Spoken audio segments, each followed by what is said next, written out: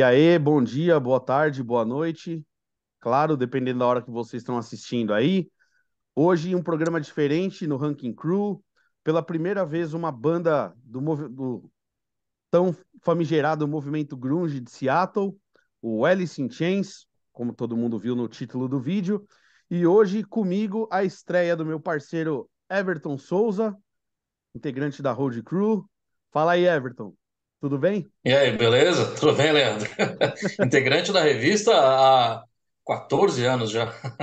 Veteranaço já. Pois E, é. e com a gente, o mais um, a- além de, de, pela primeira vez, ser uma banda de, do movimento grunge aqui no, no Ranking Crew, também é a estreia da, de, uma, de uma representante das mulheres aqui. A gente sempre quis incluir mulheres no programa. Finalmente a gente conseguiu uma entrevistada que pôde gravar, que está com a agenda disponível para gravar com a gente, Renata Petrelli, minha amiga de longa data, guitarrista do The Damnation. E aí, Rê, beleza? Beleza, muito obrigada pelo convite, muito feliz de ser a primeira mulher a participar desse quadro, né? Ainda falar de uma banda que me influencia muito até hoje e que eu gosto desde a minha adolescência, assim, né? Bacana. Pô, legal ter você aqui. Eu não, não, não pensei duas vezes em, em convidar, porque eu sei que você é mó fã de Alice in Chains, então vai falar com propriedade. Pode deixar. É isso aí. Ô, Então, Renata, Diga, você tá com qual idade? muitas. Não falo mais. Muitas, não falo eu fico, eu fico me perguntando se a sua adolescência de fã do Alice in Chains é a mesma que a nossa, é a mesma que a minha do Leandro. Ah,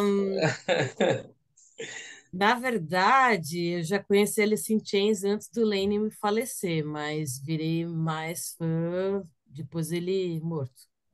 É, então no- nossa história é um pouco diferente, né, Leandro? é, putz. É, pegamos lá do, do- Quando a banda começou a estourar aqui no Brasil, principalmente, né?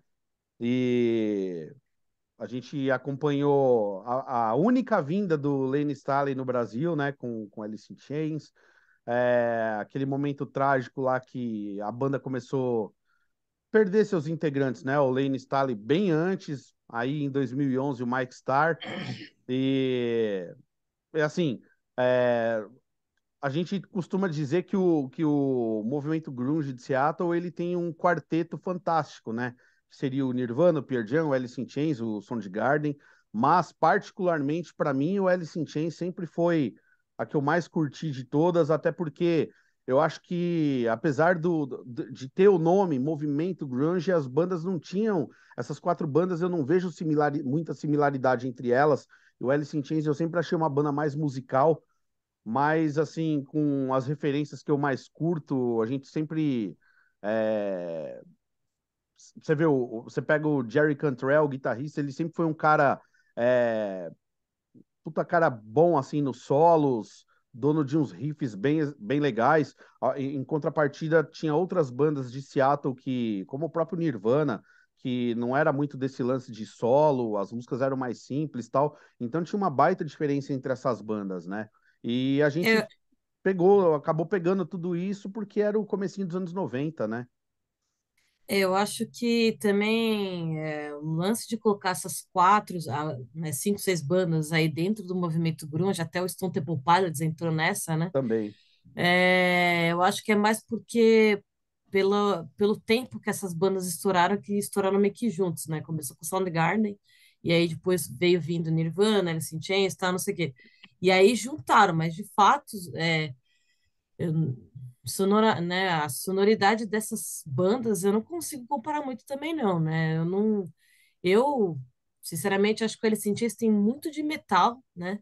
Tem. E que é um negócio que permeia muito na sonoridade da minha própria banda. Então, é, eu flerto muito mais com a pegada dos Alice in Chains, alguma coisa de Soundgarden ali, mas é, para mim a, o Alice in Chains é a banda mais metal que tem, que parece que tem uma preocupação ah, mais melodiosa, né? Então você pega, vê que os solos do, do Alice in Chains são muito cantados, né? Você consegue cantar os solos, e é algo que eu gosto muito de ter essa influência. E os riffs são muito cadenciados, muito densos, pesados e tal, que daí flerta lá com o sludge, com o doom, é, com algumas bandas de metal também, né? Vê muita referência ali do, do Black Sabbath também, né? Verdade. Então, é, naturalmente foi que me chamou muita atenção do Alice in Chains foi mais essa parte da guitarra em si, né, na verdade. É, dentro que... de qualquer movimento musical, uh, todo movimento musical que surge acaba englobando muitas bandas que não têm similaridades musicais, na verdade, e são uh, muitas vezes manobras de gravadoras, a gente sabe Exato. como funciona mais ou menos isso, né? Então o movimento grunge tem muita coisa muito diversa e as bandas uh, sequer são parecidas, né, entre elas. Mas eu acho que o Alice in Chains e o Soundgarden também que se, conseguiu se sobressair para um outro público ainda naquele, naquele período, né?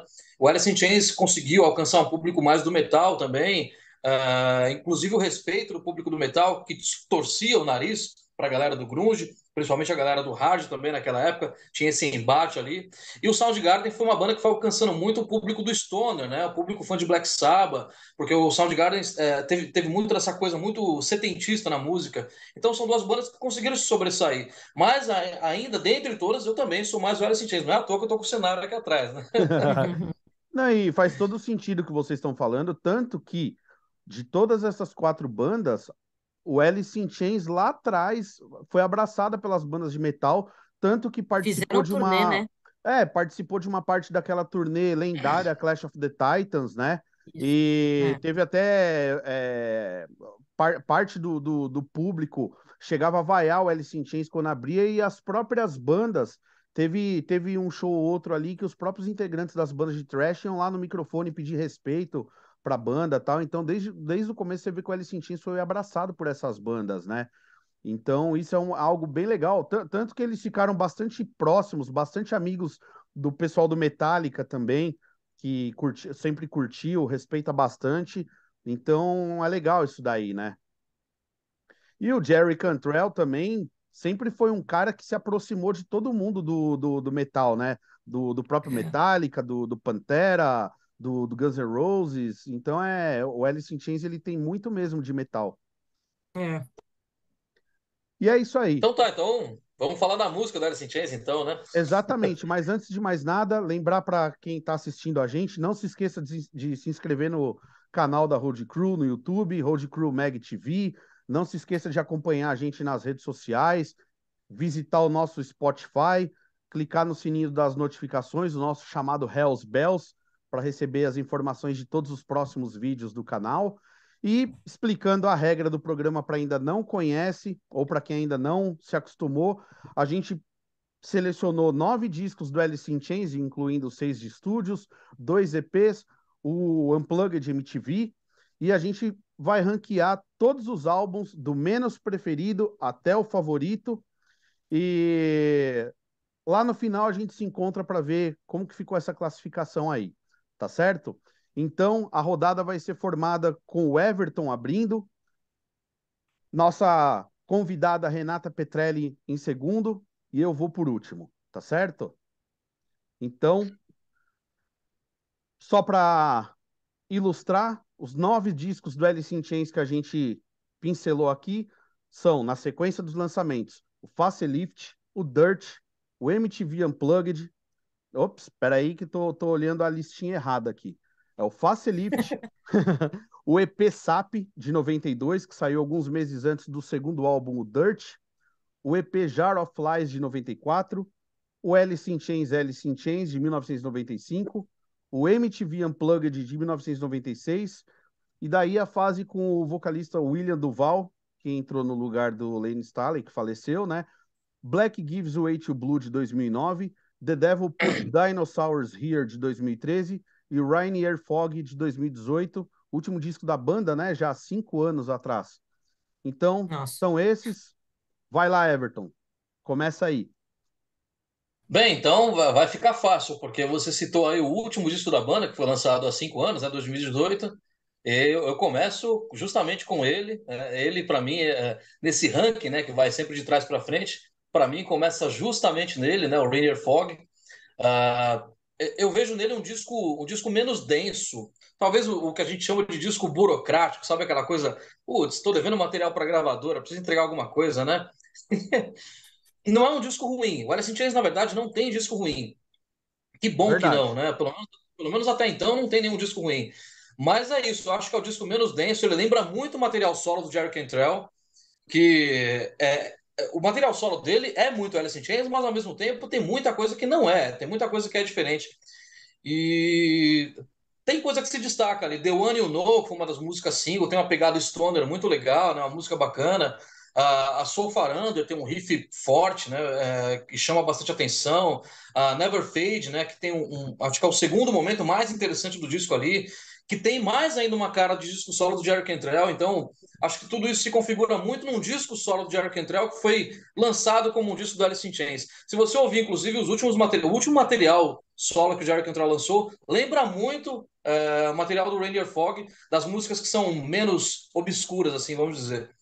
E você falou uma grande verdade. Às vezes a gente dá sorte de pegar umas bandas para fazer o ranking crew que realmente não tem disco ruim. Então, o fato de é, a gente, às vezes, colocar um disco em último não necessariamente significa que a gente não goste do disco, né? Mas sim que a gente tem discos que gostamos mais. E no, eu ah, concordo. Para uma, brinca... uma brincadeira como essa, é ruim não ter disco ruim, né? é legal é. ter um disco para a gente falar mal, né, pô? Até porque não acaba ficando com aquela impressão de que o último a gente realmente, ah, o cara não gosta, né? Mas não, não é isso. No caso do LCX, não, não é, é eu concordo. São seis discos que têm uma coerência entre eles, né? Então vamos lá, Rê, vai lá, faça a sua estreia. Olha, é, bom, como é de trás para frente, é, eu sou uma pessoa que eu gosto muito de, de músicas com alguma coisa bem marcante, assim, né? E aí eu acho que no EP de of Flies, que eu sei que tem muita gente que gosta e tal, hum, eu acho é uma pegada muito obtusa, assim, né? Eu não, eu não sei lá, para eu é, entender direito esse EP, eu acho é muito muito complexo, né? Então, acho ele bom, mas não é um, sei lá, eu colocaria para ouvir esse EP se eu estivesse numa fossa muito grande, e aí eu coloco ele para essa finalidade é legal. Mas eu para pegar e ficar ouvindo, curtindo assim, eu não gosto muito porque eu acho que a aura desse desse EP ele não me traz muito boas recordações assim. Então eu acabei colocando não é ruim, porque tem músicas bem interessantes, bem compostas e tal, mas acho que em alguns momentos é, a, a sensação que passa dá uma perdida, assim. Então eu coloquei ali em nono lugar. Bom, dando início ao meu, à minha classificação, a gente não teve nenhuma unanimidade, então, nesse nono lugar. Eu vou de Alice in Chains, Alice in Chains de 95 fazendo minhas palavras do Everton, não é um disco que eu acho ruim, porém, é, eu confesso que eu esperava mais do Alice in Chains nessa fase. As músicas desse disco, mesmo os singles dele, não me causaram tanto impacto, apesar de gostar bastante de Grind, de Sludge Factory, se bem que eu gosto mais da Sludge Factory no MTV Unplugged, principalmente pela performance do Lane Staley. A gente tem Heaven Beside You, que foi um single explorado à exaustão, porém ele me cansa um pouco de tanto que é repetido o refrão. É... eu acho assim que poderia ter tido outras passagens na estrutura da música, é, alguma outra ponte para não repetir tanto esse refrão. Apesar de eu achar o começo dela, a, a, as estrofes bem legais, mas o refrão ele meio que impregna na mente de uma forma que para mim não foi tão positivo, positiva. É, destaco aí a Shame You, que é uma música bem deprê, algo que era uma, uma característica do Alice in Chains, né? É, que, aliás, não era nada forçado, tinha tudo a ver, né? E, bom, é, é, no, no mais, é, uma, é um disco que eu acho ele meio parado para falar em português claro.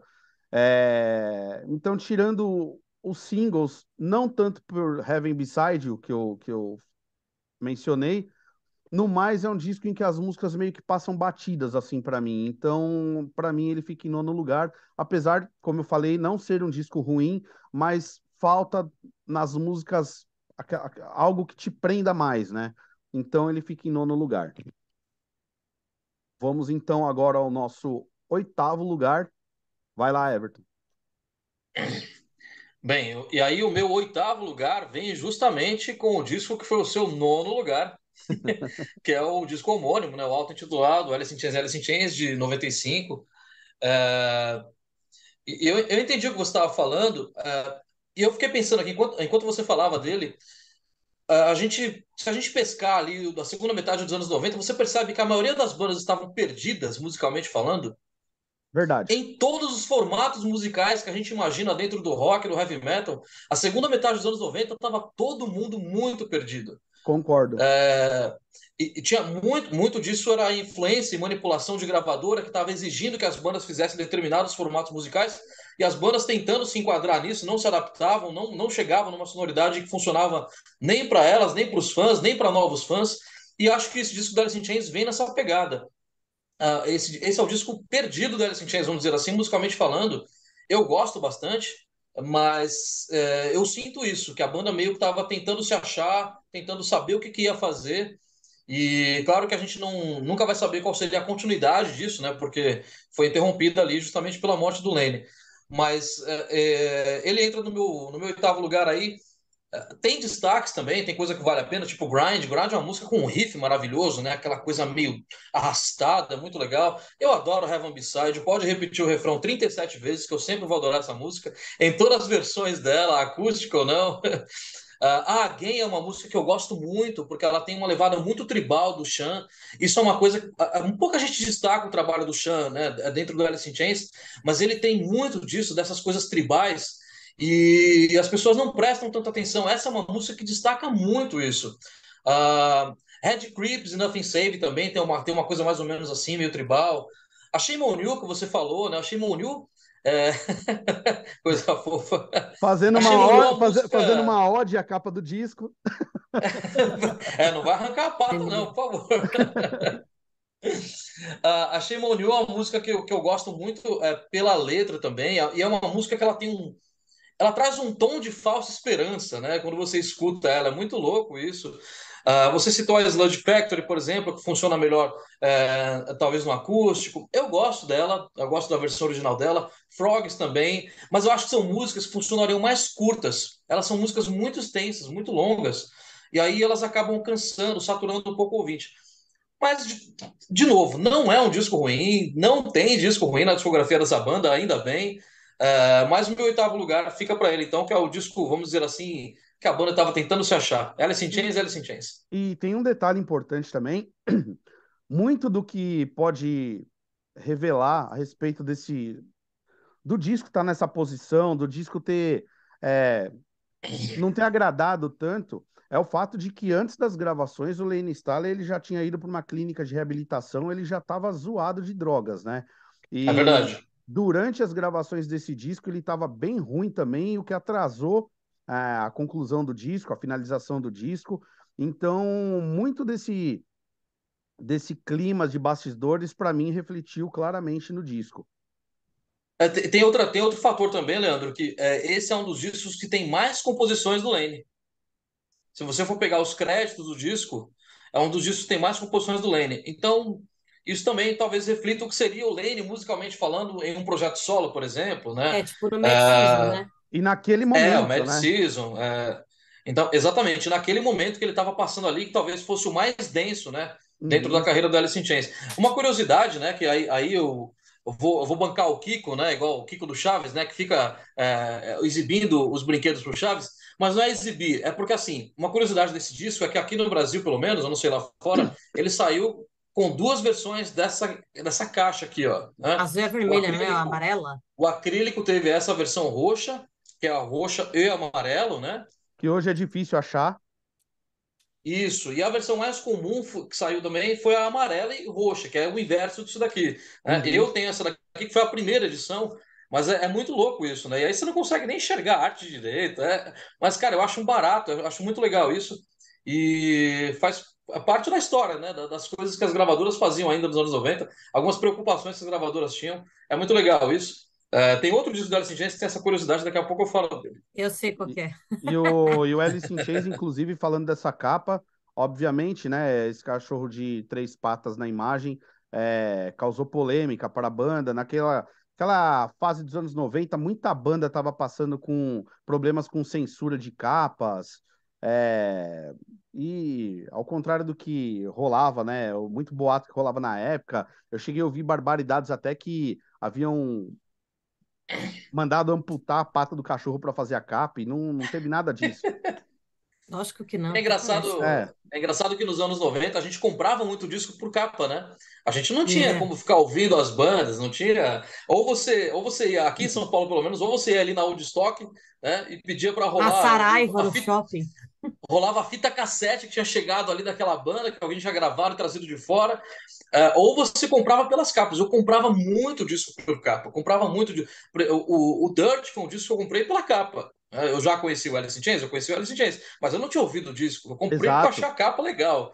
Então, assim, é muito louco, rolava muito isso nos anos 90, né? Mas aí tinha essas polêmicas com as capas também.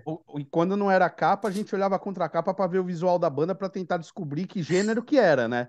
Aí dependendo do. É, tipo isso, aí, isso. isso aí é banda de death metal, vou levar. era bem isso. Vai lá, Rê. É, o meu, meu álbum também é o mesmo, né, na oitava posição. É, eu acho, pela mesma questão que, que vocês estão falando, acho que o Alice in Chains, né, comparado aos outros anteriores, né, o Facelift e o Dirt, uh, eu senti um pouco perdidão também, tirando é, os singles, né, que foram lançados e tal. Inclusive, Heaven Beside é a minha música favorita do Alice in Chains. É, foi ela que me, e, é, foi ela que me chamou atenção, né, para a banda, foi essa música. É, e lógico, depois tudo o resto, enfim, Man in the Box, uh, No Excuse, enfim. E, e por que essa música? Porque eu sou uma pessoa que gosta muito de blues também, né? E o Jerry Cantrell, ele tem é, muita influência do blues, e você percebe nitidamente, principalmente no riff inicial dessa música, né? Então, quando eu peguei e escutei aquilo, assim, meu Deus, ele, né, usa muito e abusa, né, uh, do blues nessa, nesse, nesse tema aí. E gosto muito dessa música, mas o álbum em si eu acho ele meio perdidão também. Então, tirando os singles, Grind é uma boa música, é, Again, também gosto também, bem densa, que nem o Everton falou e tal, mas eu não gosto da música Frogs, por exemplo. Não gosto, não, mano. É, ela também não me agrada tanto, não. Pulo, não dá, não, não dá, né? E aí é isso. Né? Se tem o Patinho Feio, né, que, de alguma discografia aí, que, de alguma banda que a gente gosta, para mim é Frogs. Eu sei que tem grandes amigas minhas que gostam muito dessa música, mas eu não consigo, não. No caso, o sapinho feio. É, no caso, o sapinho feio. Não virou um príncipe. Ha! Né? Exatamente. É bem isso. Bom, meu oitavo lugar é. A Rê, ela não, não, não curte tanto o EP Jar of Flies, né? Que você colocou em nono lugar. Agora eu vou mencionar o outro EP, o SAP. Não é um EP ruim, mas assim, é um EP com cinco músicas só, né? Mas, por exemplo, é... de destaque aqui, eu tô olhando o tracklist, eu gosto bastante de Brother, que o Jerry Cantrell é... assume o vocal e faz um duo com, a... com uma pessoa que era muito amiga deles, lá de, de Seattle também, a Annie Wilson, vocalista do Heart. É, e, e a primeira colaboração dela com, com eles e eu acho essa música fantástica. É, o, o, Jerry Cantrell começava a dar mais as caras dele é, como uma. Eu não consigo nem dizer uma segunda voz, porque eu acho que ele atua muito lá no, no, no Alice in Chains. Então, vamos dizer que é um, uma, uma sombra lá pro Lane Staley, né? E esse duo dele com a, com a, com a Annie Wilson eu achei bem legal. Got Me Wrong vem na sequência, também é outra música que eu gosto bastante. Só que em compensação, a, a, a, aliás, eu tô falando da Annie Wilson, também ela participa de Emma Inside, né? Que é outra música do, EP. Mas esse disco, esse EP, para mim, ele tem a música mais estranha que o Alice in Chains já gravou, que é a irônica Love Song, né? Que apesar do título, né? Canção de amor, é uma música que eu acho bizarra. Ora ela tá na manha, em outras horas, em outras partes parece que ela vira quase um grindcore, uma música totalmente esquisita, mas eu, eu vejo como um, meio como uma zoeira da banda, assim, não é uma música que eu não consigo levar muito a sério, tento levar por esse lado mais bem humorado deles, é um, um, um humor meio sarcástico do Alice in Chains, né, diga-se. E a gente tem Right Turn também, que eu não posso de deixar de mencionar, que tem o, o, o Chris Cornell do, do Soundgarden, que era amigão deles, e o Mark Arm do Mudhoney. Inclusive é legal que essa música no disco ela foi creditada como Alice Mudgarden. Uma composição do Alice Mudgarden, que é a mistura das três bandas, né? Então, assim, tem, tem bastante pontos interessantes desse EP, essas, essas colaborações externas tal, mas eu acho que é um, assim, não, não teve nenhum grande single, assim, que é, ficasse frente a frente com os grandes singles do Alice in Chains. Então, assim, não é um EP que me desagrada, mas para ter que colocar alguém em oitavo lugar, acaba sendo ele. Então, agora a gente vai para o nosso. Opa, alguém quer falar algo? é, dando sequência aqui, então, ao nosso sétimo colocado. Vai lá, Everton, manda bala. É, eu, eu acho que eu estou perseguindo os seus discos e suas falas, porque ah, então a gente tá adivinha coerente. qual que vem? adivinha qual que vem na minha sequência agora no sétimo lugar? O SAP. É justamente, é justamente o SAP. Então a gente é... continua o assunto. Não, continua não, como é que você falou das cinco músicas? Eu vou falar o que agora? Não vou falar mais nada. Eu vou falar é ele, acabou, obrigado, até mais, tchau, tchau. eu, acho, eu acho curioso que assim, o, o SAP é, parece que foi o primeiro, o primeiro traço de ousadia do Alice in Chains fora da música do Alice in Chains. Uhum. É. Vamos fazer uma coisa diferente do que a gente faz. Ah, então, mas a gente vai lançar isso como? Então vamos lançar aqui, ó. Vamos lançar aqui a parte, entendeu? Então, por isso que tem música torta, por isso que tem essa coisa mais voltada para o acústico, semiacústico. Até a capa, é, que eu, eu tô olhando para ela aqui, eu não vejo sentido nenhum nessa capa, né? A, a capa, a capa desse, uma capa de metal. A, a, capa desse, desse balde aqui de, de, de, fundo de poço, não consigo entender qual o sentido dessa capa. Não, não tem, na verdade, né? A contracapa também ela é muito legal porque tem.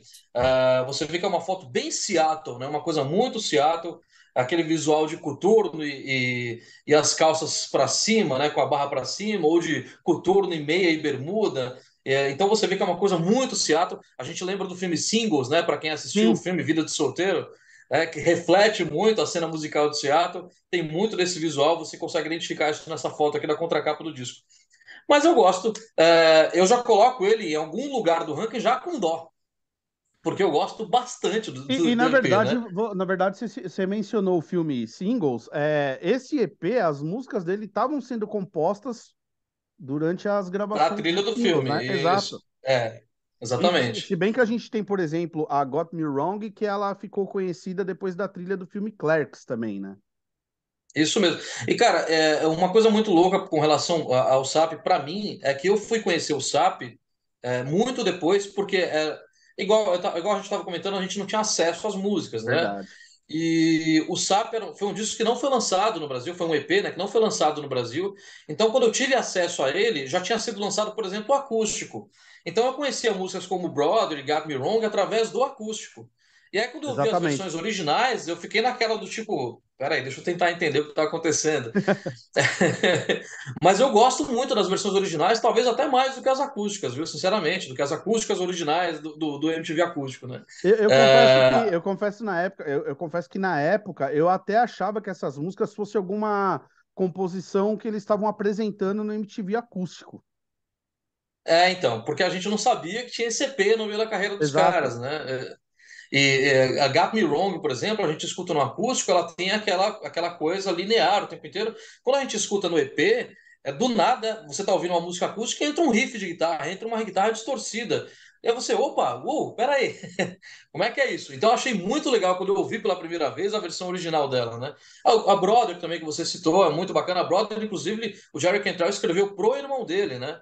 Uh, e eu acho que o, destaque, não, talvez não é, por ser a música mais interessante, mas pela participação, seja mesmo Right Turn, porque ter o Chris Cornell ali foi uma coisa que é, é marcante, né?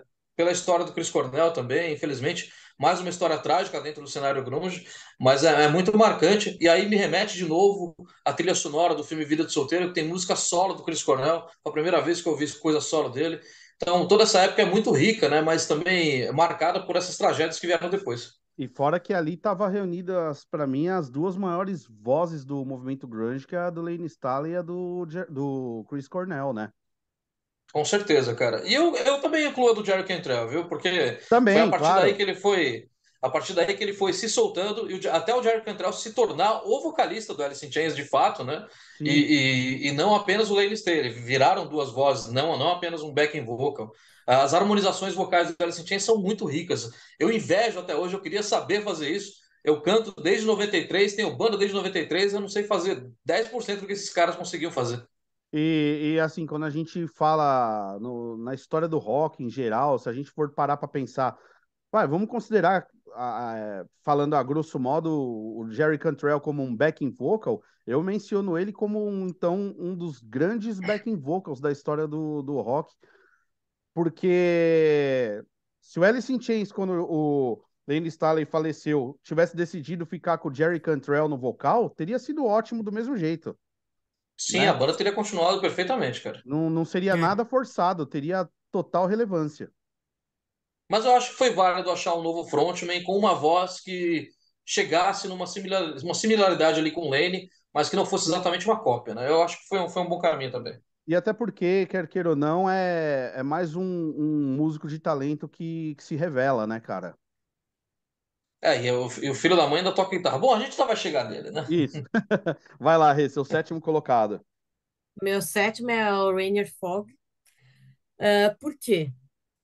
Porque eu acho que um, pensando né, em todo o sofrimento né, que o que o Alice in Chains exala nos seus álbuns, tirando uma ou outra ali meio fora da curva, esse álbum eu acho que ele tem muita, muitos riffs e terminações de, de, de compassos com notas felizes.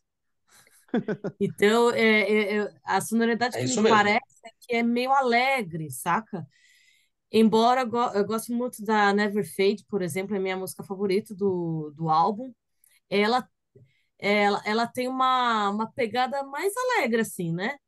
E aí parece até assim, nossa, parece até que o Jerry Cantrell devia estar apaixonado, sei lá, alguma coisa assim, pela, pela, pelo não estou falando da letra em si, mas uh, pela, pela curvatura da música, né?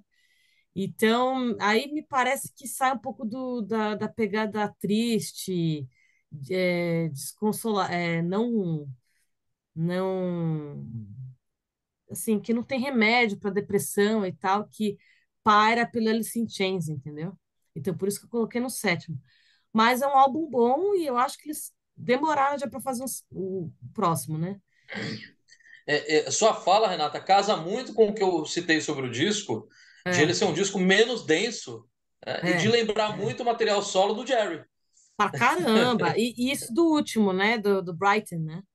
Isso. Tem umas músicas na verdade, bem. Na verdade, um pouco de todos eles, né? O Jerry Cantrell ele, ele mantém um, um, estilo, um formato musical, apesar é. de também ter músicas mais arrastadas e músicas mais densas dentro desse meio, mas ele mantém uma coisa que é um pouco menos triste que o Alice in Chains, vamos dizer assim. É, é, é, exatamente. Só por isso, mas é um, um álbum bom, é o que, você, que todo mundo falou aqui, né? Não tem álbum ruim do Alice in Chains. Tem vibrações diferentes, né? Eu acho. Então, no caso da Rainier Fog, ela ah, é muito alegre em algumas músicas e tal. Eu assim, hum, Nossa, tem gente amando aí, né? Então, isso. Vai saber, né? Bom, o Embora o meu... Jerry Cantrell pareça ser um cara que não ama nin- ninguém, né? Ele é sempre aquela cara duda, num, de poucos amigos. Ah, quem tem a sorte, eu fui uma delas, mas é, no geral, ele sempre tá com aquela cara fechada, assim, né? E tal. Parece que só tem amor pros gatos dele. eu tenho essa impressão com o Sean Kinney. Não, ele é gente boa, cara. É, é assim, não, não que ele não seja, mas assim, ele tem, tem uma. um- ele tá, eu, eu vejo o semblante dele sempre sério. É, o, sério, já né? o Jerry Cantrell, você pega no acústico da MTV, tem aquele momento é, emblemático dele lá, que ele começa a tocar um, um countryzinho lá, tira- tirando É, ele uma onda. né, É, ele tem né? essas tiradas. Bom, É, o eu, Chan, o Chan é aquele cara que tem sempre a mesma expressão para tudo, né? é, isso, é isso, é isso. Feliz, triste, bravo, é a mesma cara. O, o, o Mike Starr eu também tinha essa impressão. Eu achava que ele tinha uma cara de ser um cara mais rabugento da banda. É, É, é tem umas verdade, né? histórias, né, dele, né? né, no... Bom, principalmente depois quando agora, ele, quando ele, né? é, acho que eu sei do que você tá falando, do, do, de um programa de TV aí que ele participou. É isso? Não, de uma coisa que culminou da saída dele da banda.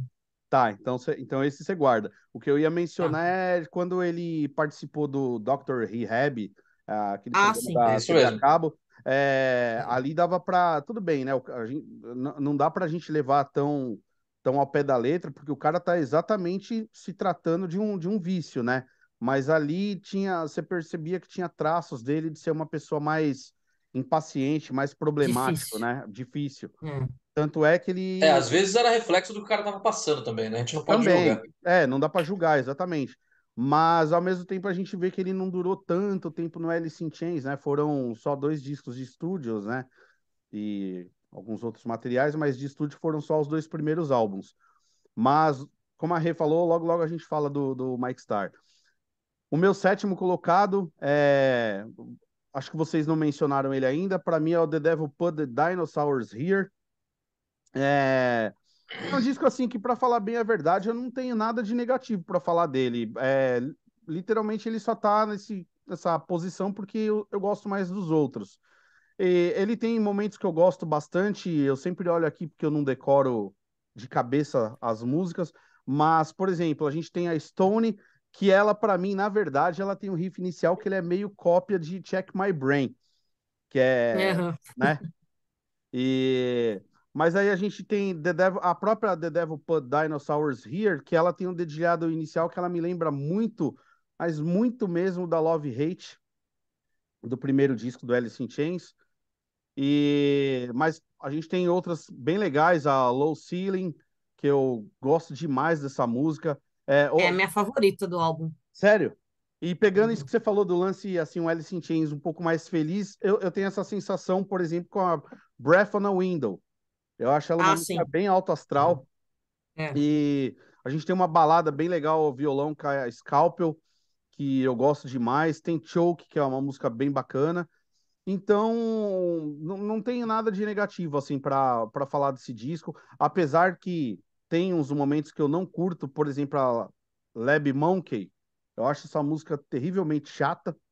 Coloco ela aí, no- colocaria ela numa coletânea invertida do Alice Músicas Chains. chatas de Alice in Chains. É, coloca ela, coloca Frogs. É, é, a, a, a Love Song lá do EP eu não coloco porque eu Ah. acho ela engraçada, porque ela é toda torta, né?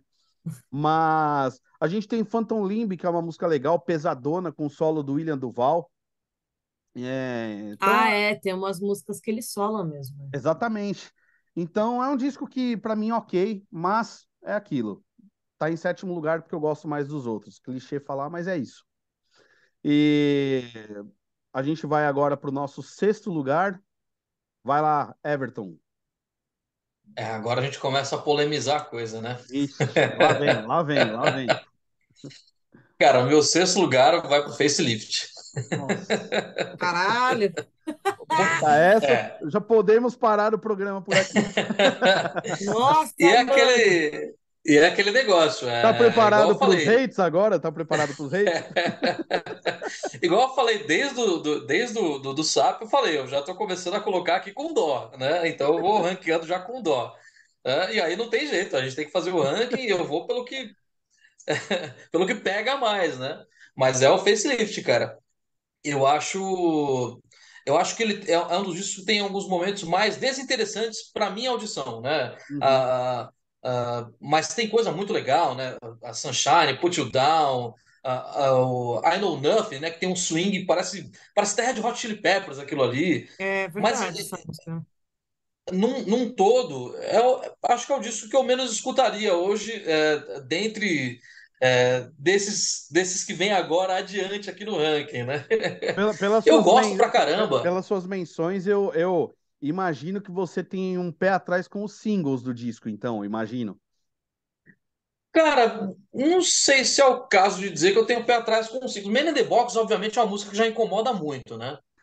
Mas porque foi muito saturada. Man é, in the Box, eu coloco. Concordo. Eu tenho uma lista, eu tenho uma lista de músicas assim que, é, que deveriam ser proibidas a serem executadas em qualquer, qualquer meio musical por pelo menos duas décadas. Man in the Box, com certeza, já está entre elas. É que, é que nem. Existem umas lojas de. Dizem, né? Eu nunca estive presente para ter certeza disso. Mas dizem que lá nos Estados Unidos tem umas lojas de instrumentos musicais que tem uma advertência: proibido tocar Stairway to Heaven e Smoke on the Water nesse estabelecimento. é, já tem, já tem bar que proíbe música, é, tipo, como é que é o nome daquela música do Talking Heads mesmo? Psycho Killer. Psycho Killer. Nossa, pelo amor de já, Deus, sim. Já sim, tem lugar que proíbe é Psycho Killer, né? Foi difícil de lembrar, não deveria ser. Tem lugar que proíbe Psycho Killer, coloca cartazinha já. Então, o Man in the Box é uma das músicas que poderia estar proibida por um tempo, não é ruim. E obrigado por é, estragar meu final. Obrigado por estragar meu final de semana, porque Psycho Killer já tá aqui martelando. É, eu sinto muito, cara.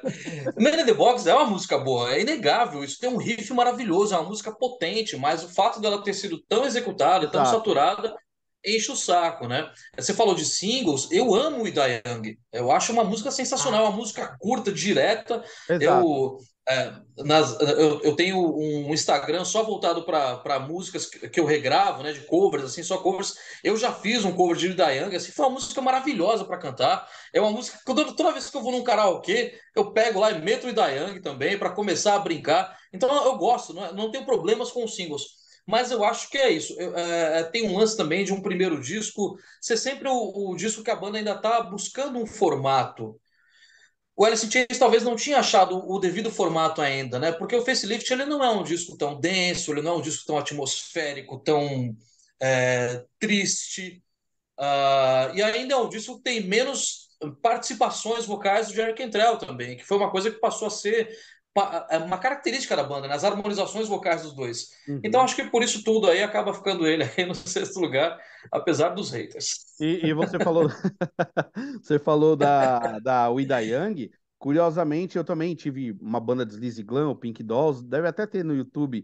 É, a gente tocava exatamente, apesar de ser uma banda de Sleazy Glam, que nada tem a ver com Alice in Chains, mas a gente tocava o Ida Young ao vivo, claro, com a nossa cara tal, mas é uma música que você vê que ela, né, agrada, né? Nada tem a ver com Alice in Chains até a página 2. Vamos esquecer que o Lane começou numa banda assim. Exato, cabelão em pé. Exatamente. É, o Lane foi das bandas de Poodle. Vai lá, Rê. É, o meu sexto, daí vem o The Devil Put Dinosaurs Here. É... Porque, ao meu ver, tem ótimas músicas, mas criativamente eu acho que ele é inferior a, ao primeiro da volta, né, do Alice in Chains. Então, eu acabei colocando esse álbum em sexto simplesmente porque me pareceu um álbum um pouco mais preguiçoso, assim, né, em questão de criatividade, até alguns solos, assim, achei bem contido. E aí eu coloquei em sexto lugar, mas tem várias músicas boas, né? Tipo, é, Stone e a Low Ceiling, é, acredito que até uma curiosidade, é, eu cheguei a marcar o Mike Ness para ele ver esse, esse cover que eu fiz. E aí ele chegou a comentar e tal. Então, Legal. Ah, que legal. legal, é. é. Foi uma das, acho que é uma das primeiras covers que teve dessa música, eu que acabei tirando. Então eu gosto muito dessa música, assim. Embora não tanto o álbum, né? Pô, bacana demais. E eu vou no inverso seu, Rê. É, você pôs o Rainier Fog anteriormente, eu vou colocar o Rainier Fog agora no meu sexto lugar. Eu concordo com você a respeito desse lance do alto astral que você mencionou do disco, que tem é, nos, num, num, umas conclusões de vídeo, repentes. né? É, É. E eu vejo isso, por exemplo, em Never Fade, que é uma é. homenagem à avó do, do William Duval e também ao Chris Cornell, né? E, por exemplo, outros destaques que eu coloco, a própria faixa de abertura, The One You Know, tem um riff pesadão. É, essa música foi o Jerry Cantrell, ele se inspirou, pelo que eu me lembro, na, na- no clássico do David Bowie, Fame, né? E a própria Rainier Fog tem esse alto astral que você mencionou. É, é uma das músicas que eu, que eu mais curto e ela é uma homenagem a todo o movimento de Seattle, né? Dos anos 90.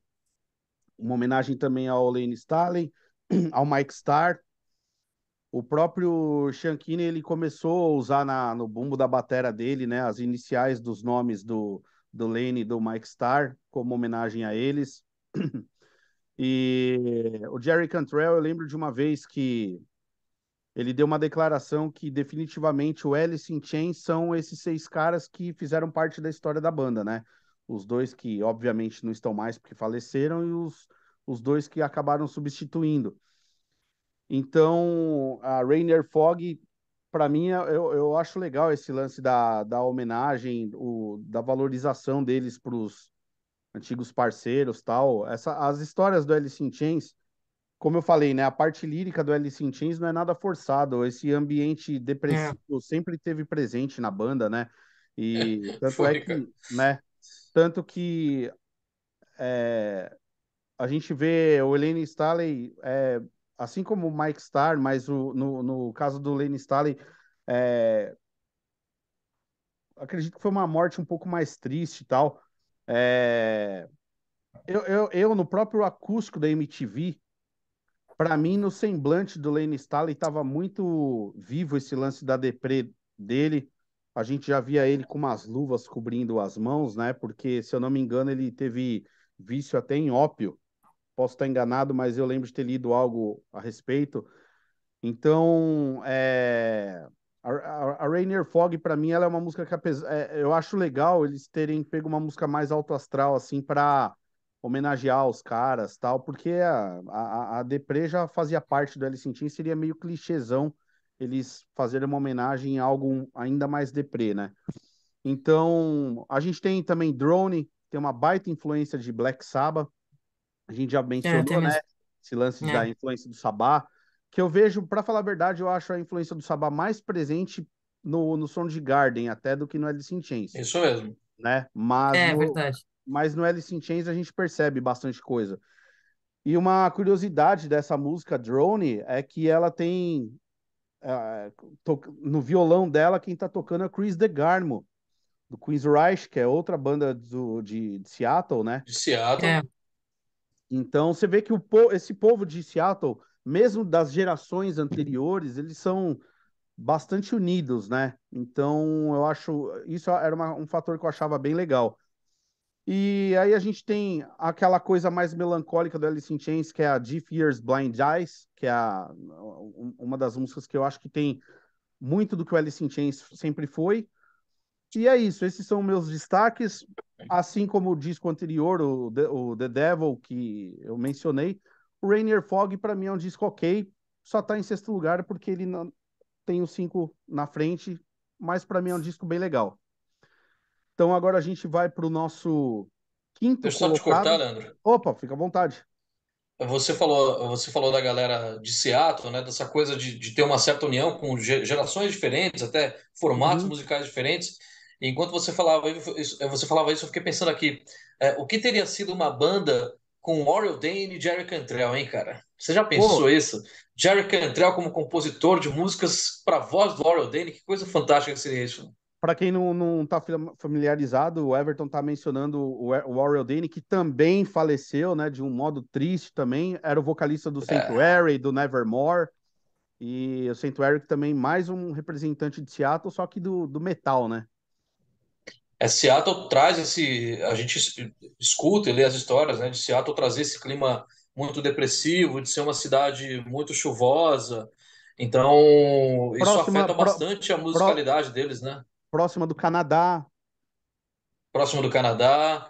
Isso afeta demais a musicalidade de todo mundo ali e afeta a vida, né? Tanto é que estão aí as histórias de suicídio que a gente conhece porque são figuras famosas do meio musical, mas você imagina quantas e quantas não, não tem ali é, da cidade de pessoas, pessoas comuns, né? É, tanto que Seattle, é, principalmente por causa desse lance do, do clima, ela é uma cidade, assim, considerada uma cidade pobre dos Estados Unidos, né? Muitos, muita, acho que não não lembro ao certo o período, anos 80, 90, teve muito lance de desemprego lá no, no- na, na cidade, então acho que tudo isso com certeza reflete na, na música, né, da, da banda, das bandas, no caso. Lembra muito, lembra muito o, o que a gente conhece do clima escandinavo, né, cara? Dessa coisa de ser sempre tão gélida, né, para as pessoas eh, conviverem, né? Sim, Um, um ambiente ruim. sim. Muito louco isso. É. E, não, e com certeza, tudo isso é, faz parte do, do, do que traz pro, pro cara, para os compositores, né? É- é Esse clima, a dificuldade da, da cidade e tal, tudo mais, com certeza influencia e é aquilo. A gente pensa, por exemplo, na Suécia, né? Que é, é um país assim que é difícil você ver alguém passar alguma dificuldade financeira mas em compensação, por outro lado, o lance do, do clima, é, na maior parte do tempo gelado, a gente vê que a Suécia, pelo menos até a última vez que eu tinha pesquisado, era a a- o país com o maior índice de suicídios, né? Suicídio. Acho que é É. mesmo. Então, tudo isso tem essa conexão, faz muito sentido. É muito louco como tudo isso pode influenciar na, na, na musicalidade, nas suas composições, né? Fugindo um pouco aqui da, da, da esfera do Alice in Chains, Aham, uma banda como a Ahá, por exemplo, né, que é uma banda que eu sou fã, o Ahá é uma banda norueguesa. Se você for é, ler as letras do Ahá, vocês vão ver que muitas letras do Ahá são extremamente melancólicas e se referem muito à ausência do sol, à falta do sol, à falta do calor, de uma coisa mais é, próxima entre as pessoas é, justamente porque a Escandinávia traz esse clima todo, né, em todos os seus países, incluindo a Noruega. Então, é, e, é engraçado que no caso deles, eles não levam isso para a música de uma forma depressiva, né, de um doom metal, eles têm melancolia, é diferente. sim. Ah, mas em geral, a galera acaba indo para esse caminho. Eu, eu penso o seguinte, cara, ah, pelo menos eu, enquanto músico, mas sei lá, talvez como ouvinte também posso dizer, eu acredito que os carros-chefes das melhores músicas da história são é, amor, tristeza, ódio, raiva e depressão. É, é, você pega, por exemplo, uma música do Facelift do, L- do próprio Alice in Chains, o título é meio que mais ou menos isso que você tá falando, Love, Hate, Love, né? Love, hate, love. É, é, sintetiza bem, né? Uma coisa que faltou mencionar do Rainier Fog, na verdade não faltou, mas é uma curiosidade. É, esse disco ele, ele teve um certo atraso para ser lançado, porque o Jerry Cantrell ele ficou mal porque ele teve comeu algo estragado numa festa do Sammy Hagar. E ele ficou doente por seis semanas, cara. Nossa, É, por causa de, o de... cara, o cara comeu churro de tequila.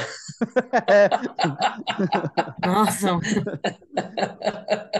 curioso, né? Um mês e, um mês e meio doente por causa de uma comida na, na- nas festas, famosas festas do Sammy Hagar, né? É, ele é amigão, né, do Sammy Hagar. É.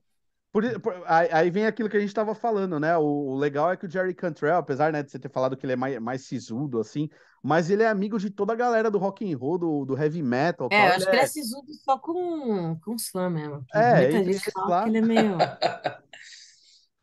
Então vamos Comigo não foi, agora. mas eu vi uma galera falando, reclamando que ele é meio. Meio Eu mala? acho que ele é mais um cara tímido do que sisudo, sabia? Pode ser. A pessoa tímida, ela não sabe transpor a timidez, então ela fica uma pessoa fechada e mal encarada, chata, É, cuzona. Everton, vamos lá agora então para o nosso quinto colocado. Vai lá. Então tá, o, o quinto colocado, é, é, de novo, é, vai com um aperto no peito, né? De ficar fazendo esse ranking. Eu poderia ser- a gente poderia fazer de uma banda que tem mais coisa ruim pra gente falar, mais discos ruins. Aham. O, o quinto colocado vai ser o MTV, né? O MTV Unplugged, lá de 96. É, e não tem nada de ruim pra falar, eu não sei nem o que dizer dele, cara. Não- eu acho que se for pra falar alguma coisa negativa, seria porque você, principalmente quando você assiste ao acústico, você sente o clima do Lane, você sente que ele estava muito mal e que ele estava fazendo um esforço tremendo para estar ali, fazer aquilo e fez de uma forma brilhante, assim. Ele cantava demais, é, é de se emocionar com as interpretações dele, mas é, a impressão que eu tenho é que é isso, ele estava se esforçando para estar ali. Então, você sente esse clima, é pesado, entendeu? É, é muito Sim, denso, né? total. E aí eu acho que eu acho que por isso acaba ah, caindo talvez essa posição do ranking. E porque musicalmente falando não, não tem, não tem defeito para colocar no acústico MTV dos caras, não tem. Acho que é o melhor acústico MTV da história. Cara, e É. E olha que eu ouvi tanto isso, muitos. esse lance que você falou do clima é tão, tão verdade que o Alice in Chains demorou para aceitar a gravar esse acústico da MTV, Foi. né? Ele já tinha É, porque chamado é, antes.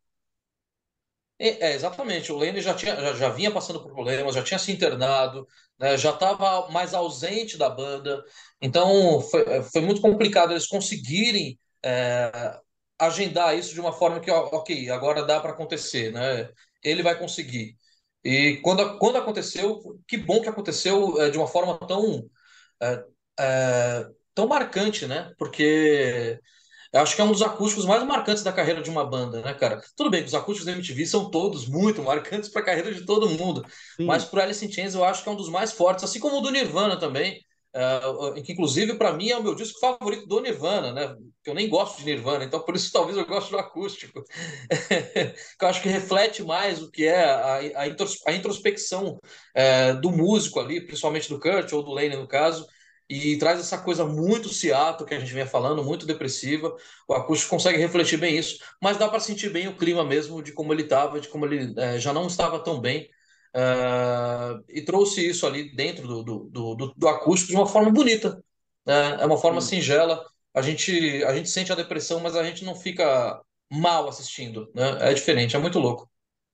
é isso mesmo. Eu concordo com tudo que você falou, cara. E é, é bem isso. O acústico da MTV, ela Eu lembro que o sentimento na época, assim, era de ver, putz, a, a gente, porque já se ouvia falar que o, LC, que o principalmente o Lane Staley estava passando por problemas com drogas tal, é, mas, ao mesmo tempo, para quem assistiu o acústico na época, a sensação, pelo menos para mim que ficava, é, era de que o Lane Staley estava dando a volta por cima, cara.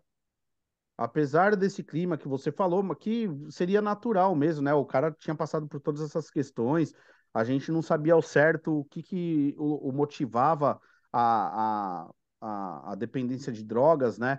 Mas o acústico da MTV, até vez ou outra, ele soltava uns sorrisinhos lá, umas É, umas piadinhas. é, umas piadinhas que o Jerry Cantrell fazia, ele olhava e sorria. Então eu achava que ali Tem, ia ser o princípio de, um- de uma retomada na vida do cara e infelizmente não, né? E não foi, Tem uma hora que ele fala alguma coisa, eu não lembro direito qual a fala dele, mas ele fala: Esse é o melhor show que a gente fez em muitos anos, alguma coisa assim. É, E aí o Jerry, o Jerry responde para ele: Mas foi o único. É, é. exatamente. Até, até porque, é, é, é, até porque na época do antes do, do Alice in Chains gravar o, o Alice in Chains, foi o disco que lá atrás eu mencionei que o Lane Staley tinha se internado, né, para tentar se tratar. É, antes das gravações desse disco, o Alice in Chains estava cancelando vários shows grandes, cara. Com, eu lembro que eles cancelaram, cancelaram shows com Metallica, com Suicidal Tendencies, com Danzig. Então foi uma, um período bem difícil para Alice in Chains, principalmente pro Lane, né? É isso que você falou de, de talvez entender como um momento de superação. É, também ao mesmo tempo traz um, um, clima de falsa esperança, né? Porque o que é. veio depois foi justamente a tragédia, né, cara? Então, quando a gente é, pensa na história da banda, nessa discografia toda e chega nesse ponto, talvez a, a, a, o, termo que define o acústico seja exatamente esse, falsa esperança, porque logo depois a gente teve a é. tragédia. É, tanto que a banda ficou, até que viesse o, o, o Sui, né? Tem que tomar cuidado com o YouTube do Lane Staley, a banda ficou cinco anos parada, né, cara? Ficou é, um, hiato, um, um, hiato, bem grande e, né? É, eu achei é... que nem ia acontecer mais. De verdade, eu achava que não ia acontecer mais. O Jerry já já já estava lançando a carreira solo dele, então eu achei que ia ficar por isso mesmo, que não ia mais rolar esse Chains, não. E você definiu bem, é, o, o acústico MTV, no final das contas, ele foi uma falsa esperança, né? Exatamente, cara. Muito é louco isso. Vai lá, Rê. Você agora, né? É o meu, é o meu quinto é o SAP. sem razões aparentes, né? Eu gosto muito do álbum, acho inclusive gostei muito da participação da Anne Wilson, né? Do é do Heart. Do Heart. Do Heart. E, é, e eles têm amizade, né? O Diego Cantrell tem amizade com, com elas até hoje. É, eu acho que foi um bom prenúncio, né, do, de, dessa experimentação que eles depois vieram mostrar que daria muito certo também se eles fossem seguir para um caminho só acústico. Um, mas não, acho que talvez eu coloquei nessa posição simplesmente porque tem poucas músicas, entendeu? Porque eu gosto de todas as músicas que, que estão, gosto do jeito que a Heaven Beside You aí. É... Chupa, Leandro. E. enfim, é, é, Heaven Beside é minha música favorita do Alice in Chains, então, enfim. É, é não, e só para uh, brincadeiras à parte, uh, meu único é, porém, com, com, com Heaven Beside é a questão do refrão, que eu acho que repete muito, mas é uma música que eu adoro. Não, adoro não, né? Estaria mentindo, mas eu gosto bastante dela e principalmente do, do das estrofes, do, do, do, do, início da música, eu acho bem legal. Eu só acho que repetem demais o refrão e, e isso me enjoa um pouco. E, e, o que, que você acha da Love Song? Você, você curte? Aquela, aquela ah, eu acho ela mais A música torta. É. É, ela é torta e aí, tipo, você vai ver quem gravou o quê, todo mundo gravou uma parte, né, dessa música, né? tipo, sei lá, parece uma brincadeira mesmo, e é isso. É, eu acho ela bem divertida, cara. Bom, é, é engraçado que quando se fala de EP, a gente está sempre parelho, mas invertido. O meu quinto colocado. Aí, ó, falando do Alice in Chains, chegou droga aqui, ó, na comunidade. ó, isso aqui, ó. Ai, caramba. É, o meu quinto colocado é o Jar of Flies, o outro EP. E é isso, meu, não tem o que falar. É um EP bem legal. Pô, esse EP de cara já dá para lembrar que ele tem Nutshell, uma das músicas mais bonitas para mim da Alice in Chains. A Stay Away, que eu acho demais a, a, a, a as melodias vocais, as harmonizações. No Excuses, que para falar a verdade, eu gosto mais dela ainda no, no, no Unplugged MTV, principalmente pelos arranjos de bateria do Shankiri. Ah, eu também. Nossa, ele detona nessa música. Mas... E traz aquela coisa tribal que eu falava. Exato, exato. É, bem, total, bem né? percussivo né? também, né? E, meu, é, aí a gente tem é outro EP que tem uma música meio nonsense, eu tô falando da Swing on This, que também é uma música meio charopeta, né? tem a instrumental Whale in Wasp, que é legal ver o, o, o Alice in Chains fazendo algo mais instrumental. E, curiosamente, Jar of Flies foi o primeiro material do Alice in Chains a levar a banda, apesar do sucesso do Facelift, do Dirt, é, foi o primeiro material a levar o Alice in Chains ao primeiro lugar da Billboard, né? Então. Muito louco, né? Pensar que um EP, é, né? talvez um dos trabalhos mais introspectivos, um trabalho que nem é um álbum completo, foi justamente o que levou eles a esse estrelato, né? Exato. Então... Mas eu acho que é muito fruto assim de os dois primeiros álbuns da banda fizeram foram tão bem aceitos por público, mídia, tal que a, a, quando saiu Jar of Flies, ele já tinha uma legião de fãs. Então todo mundo e, e claro, né, aquilo que a gente está falando, naquela época a gente comprava disco no susto, né? A gente não tinha como ouvir previamente. Então muita gente comprou no susto porque já estava é, viciado em Alice in Chains, né? Mas de qualquer forma, foi primeiro lugar na Billboard e é um, EP que eu gosto bastante. Eu, eu posso dizer até que se a gente lembrar em todos os EPs que existem na história, eu incluo ele entre. Se eu fizer um top 10 de EPs, eu acho que, que ele entra nos meus EPs favoritos do, do rock and roll, ah, do, com do certeza, metal. cara, merece. Merece. E é isso. Podemos ir para o nosso quarto colocado? Podemos ir. Vai lá, Everton. Ah, será que em algum momento a gente vai chegar numa unanimidade? Acho que não, hein? Por enquanto não teve, né? A gente Não teve, teve. em vários momentos a gente teve bem parelho nos gostos, mas ainda não teve unanimidade. É, foi parecido, né? É Acho que verdade, o finalzinho ali foi mais, o começo, né? Foi mais parecido. exatamente. Meu, meu quarto lugar vai para o The Devil Put Dinosaurs Here, né? Aham. É, eu- certeza que agora os haters vão me odiar ainda mais por ter colocado esse disco é, tão alto no ranking, Na mas eu frente gosto do facelift. na frente do facelift. Eu gosto bastante do William Duval, eu gostei bastante da entrada desse cara. É, ele é um disco, eu acho que ele é o disco mais pesado do Alice in Chains. Verdade. É, é, é, cara, é o disco mais pesado do Alice in Chains, é o disco que tem mais riffs mais é, arrastados também do Alice in Chains. Não que o Alice in Chains seja uma banda Doom, mas é, eu acho que ele merecia ser mais bem apreciado pelos fãs, porque eu vejo muitos fãs falando muito mal desse disco, né?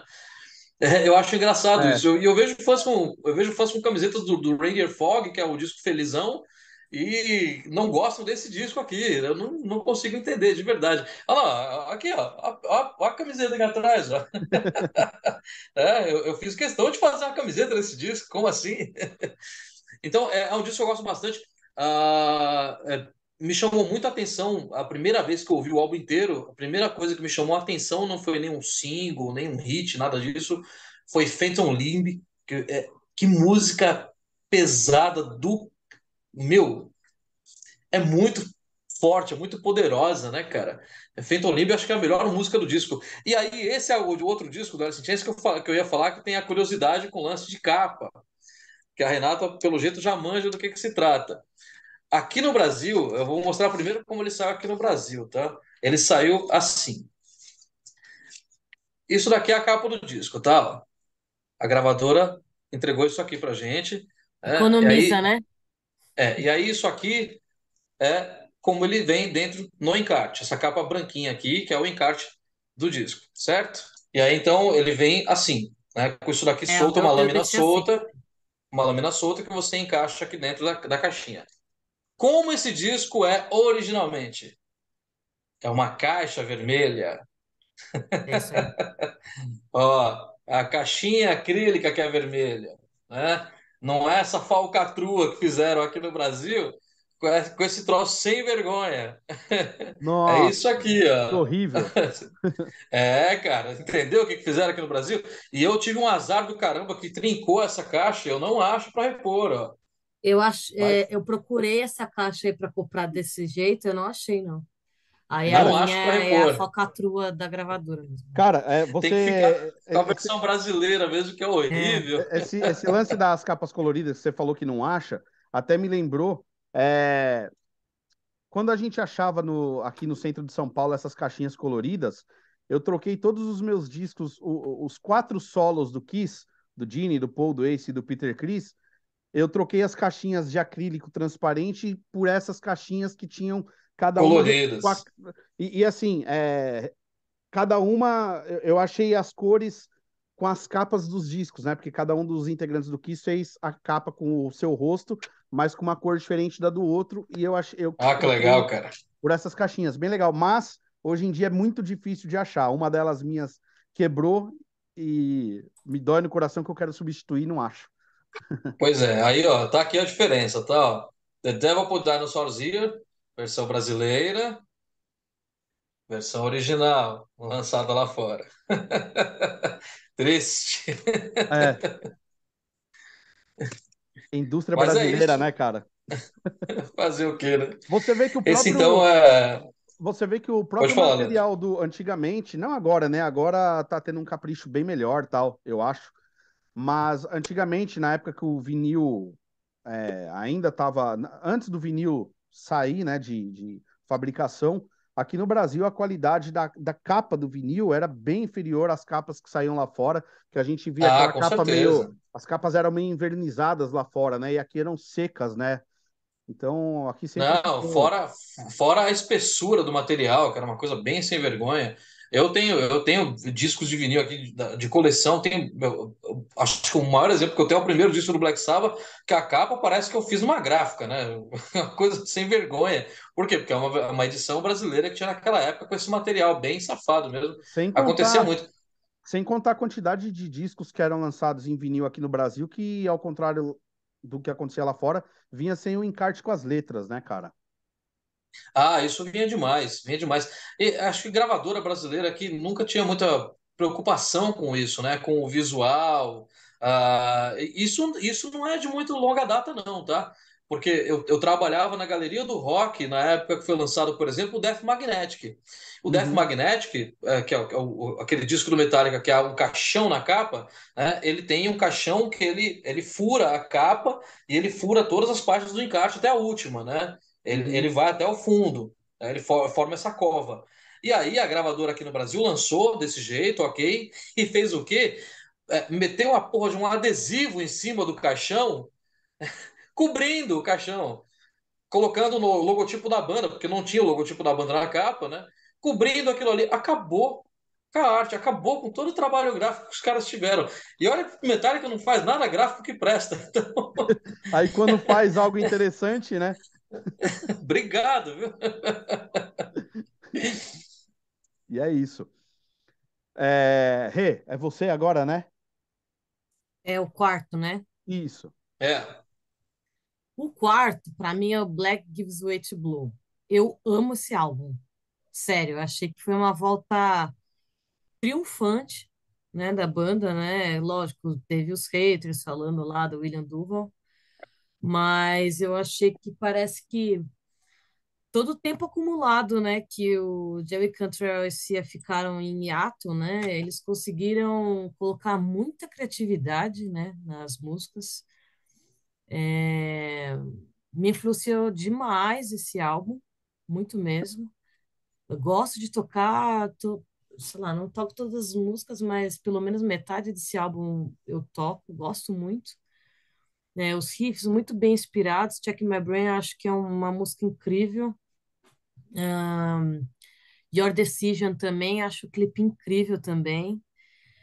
É, E, e o que eu gostei é que o William Duval, ele entrou sem querer parecer o Lane, assim, né?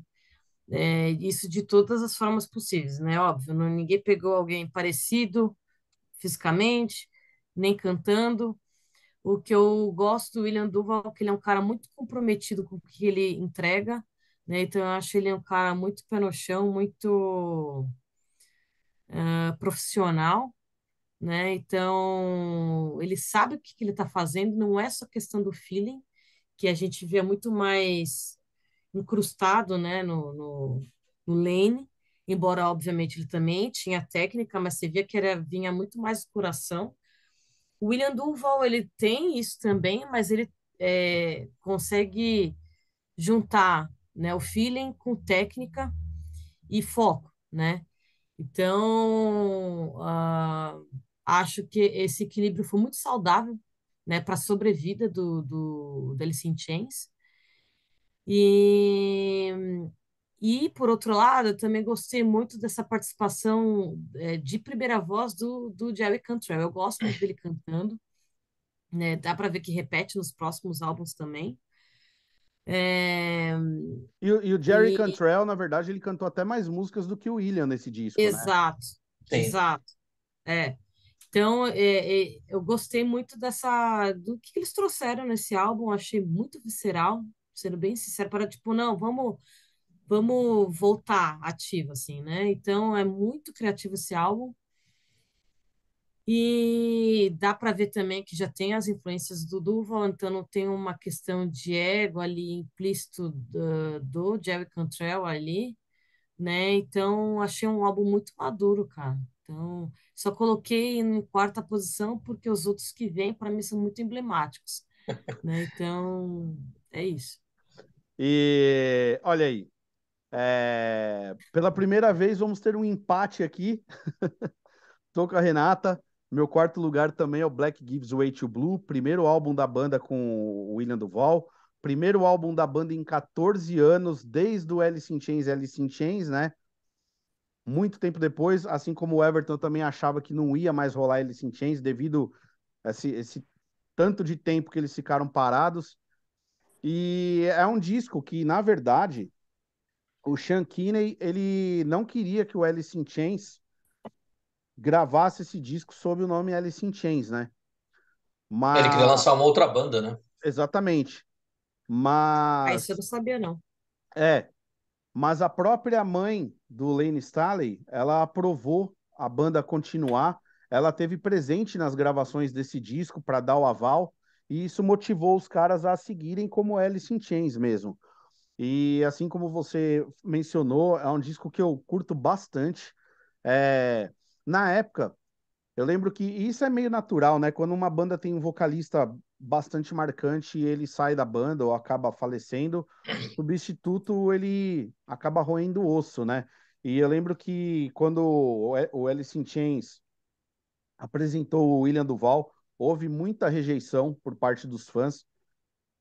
Eu, eu, eu para falar bem a verdade, para falar o português claro, acho que rola, rolou muito racismo pelo fato do cara ser preto.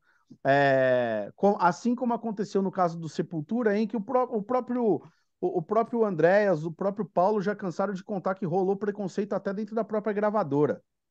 Nossa. Pra falar bem a verdade, é que, não, que, não, queria é, ver o Sepultura com um, um, uma pessoa de outra etnia. Então, para falar bem o português, claro, rolava muito disso com, com o William Duval. Mas aos poucos, eu acho que fazendo o trabalho dele, sem causar polêmica, sem ficar rebatendo, ele conquistou o lugar dele na banda. Hoje em dia, essa questão da, da, da rejeição foi superada. É, eu tive a oportunidade de ver o Alice in Chains duas vezes ao vivo com o William Duval. A primeira foi lá no. no SW? SW. Eu vi cinco. Paulínia. Pô, você viu lá fora, né? Aí é covardia, né? É. Aí, olha ela, olha ela bancando o Kiko do Chaves agora não, de novo. Não, não sabe, não sabe brincar. Não sabe brincar. É, é, ela, para imitar, é, para ficar Kiko de vez, só faltou ela. a, a tocinha, né? É, eu vi ao vivo com, com, com, em Paulínia, lá no SW, achei bem legal. Na verdade, eu vi o Alice in Chains com o Duval uma vez e meia, porque a outra vez foi quando eles tocaram naquele festival, acho que foi no SP Trip, né? Era o nome do festival que eles dividiram é, no Allianz Parque com. Por que, com que eu assisti... Não, foi que tinha o Black Star Riders. Não vou lembrar quem eram os outros.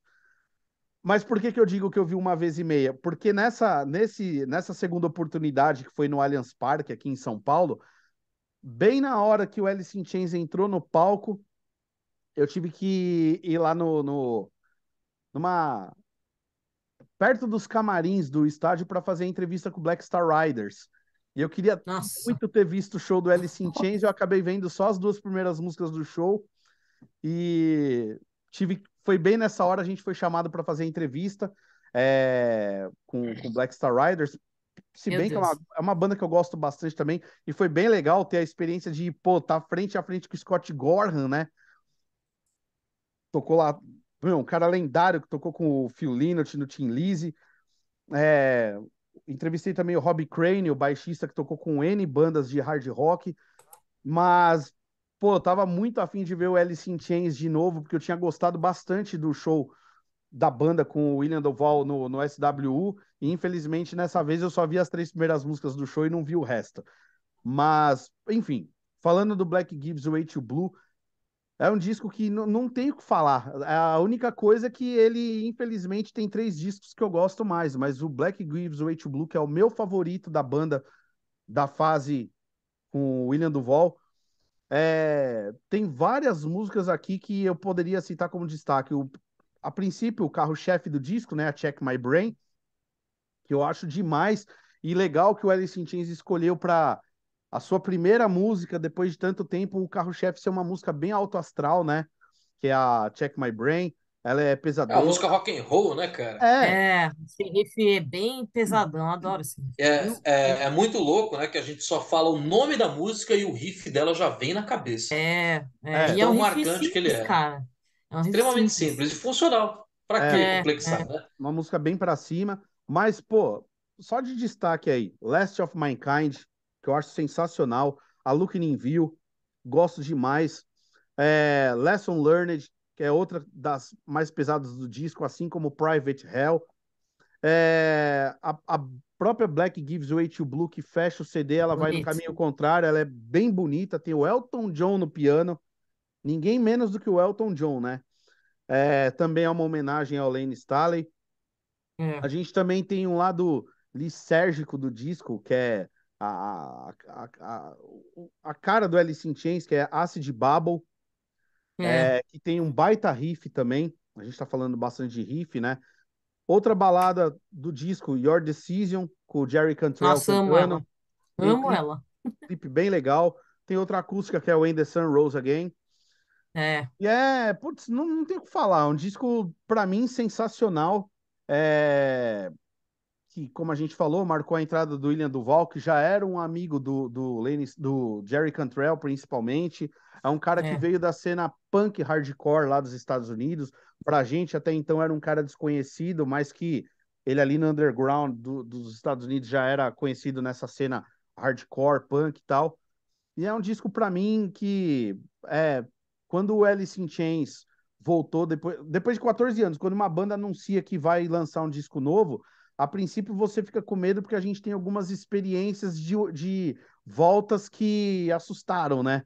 Mas no caso do Alice in Chains, eu já gostei do single de cara, fiquei com aquela sensação, será que é Será? É, é, é, será que é o caso de ser aqueles lances do single pega trouxa? Você compra pelo single e no final das contas. Mas não.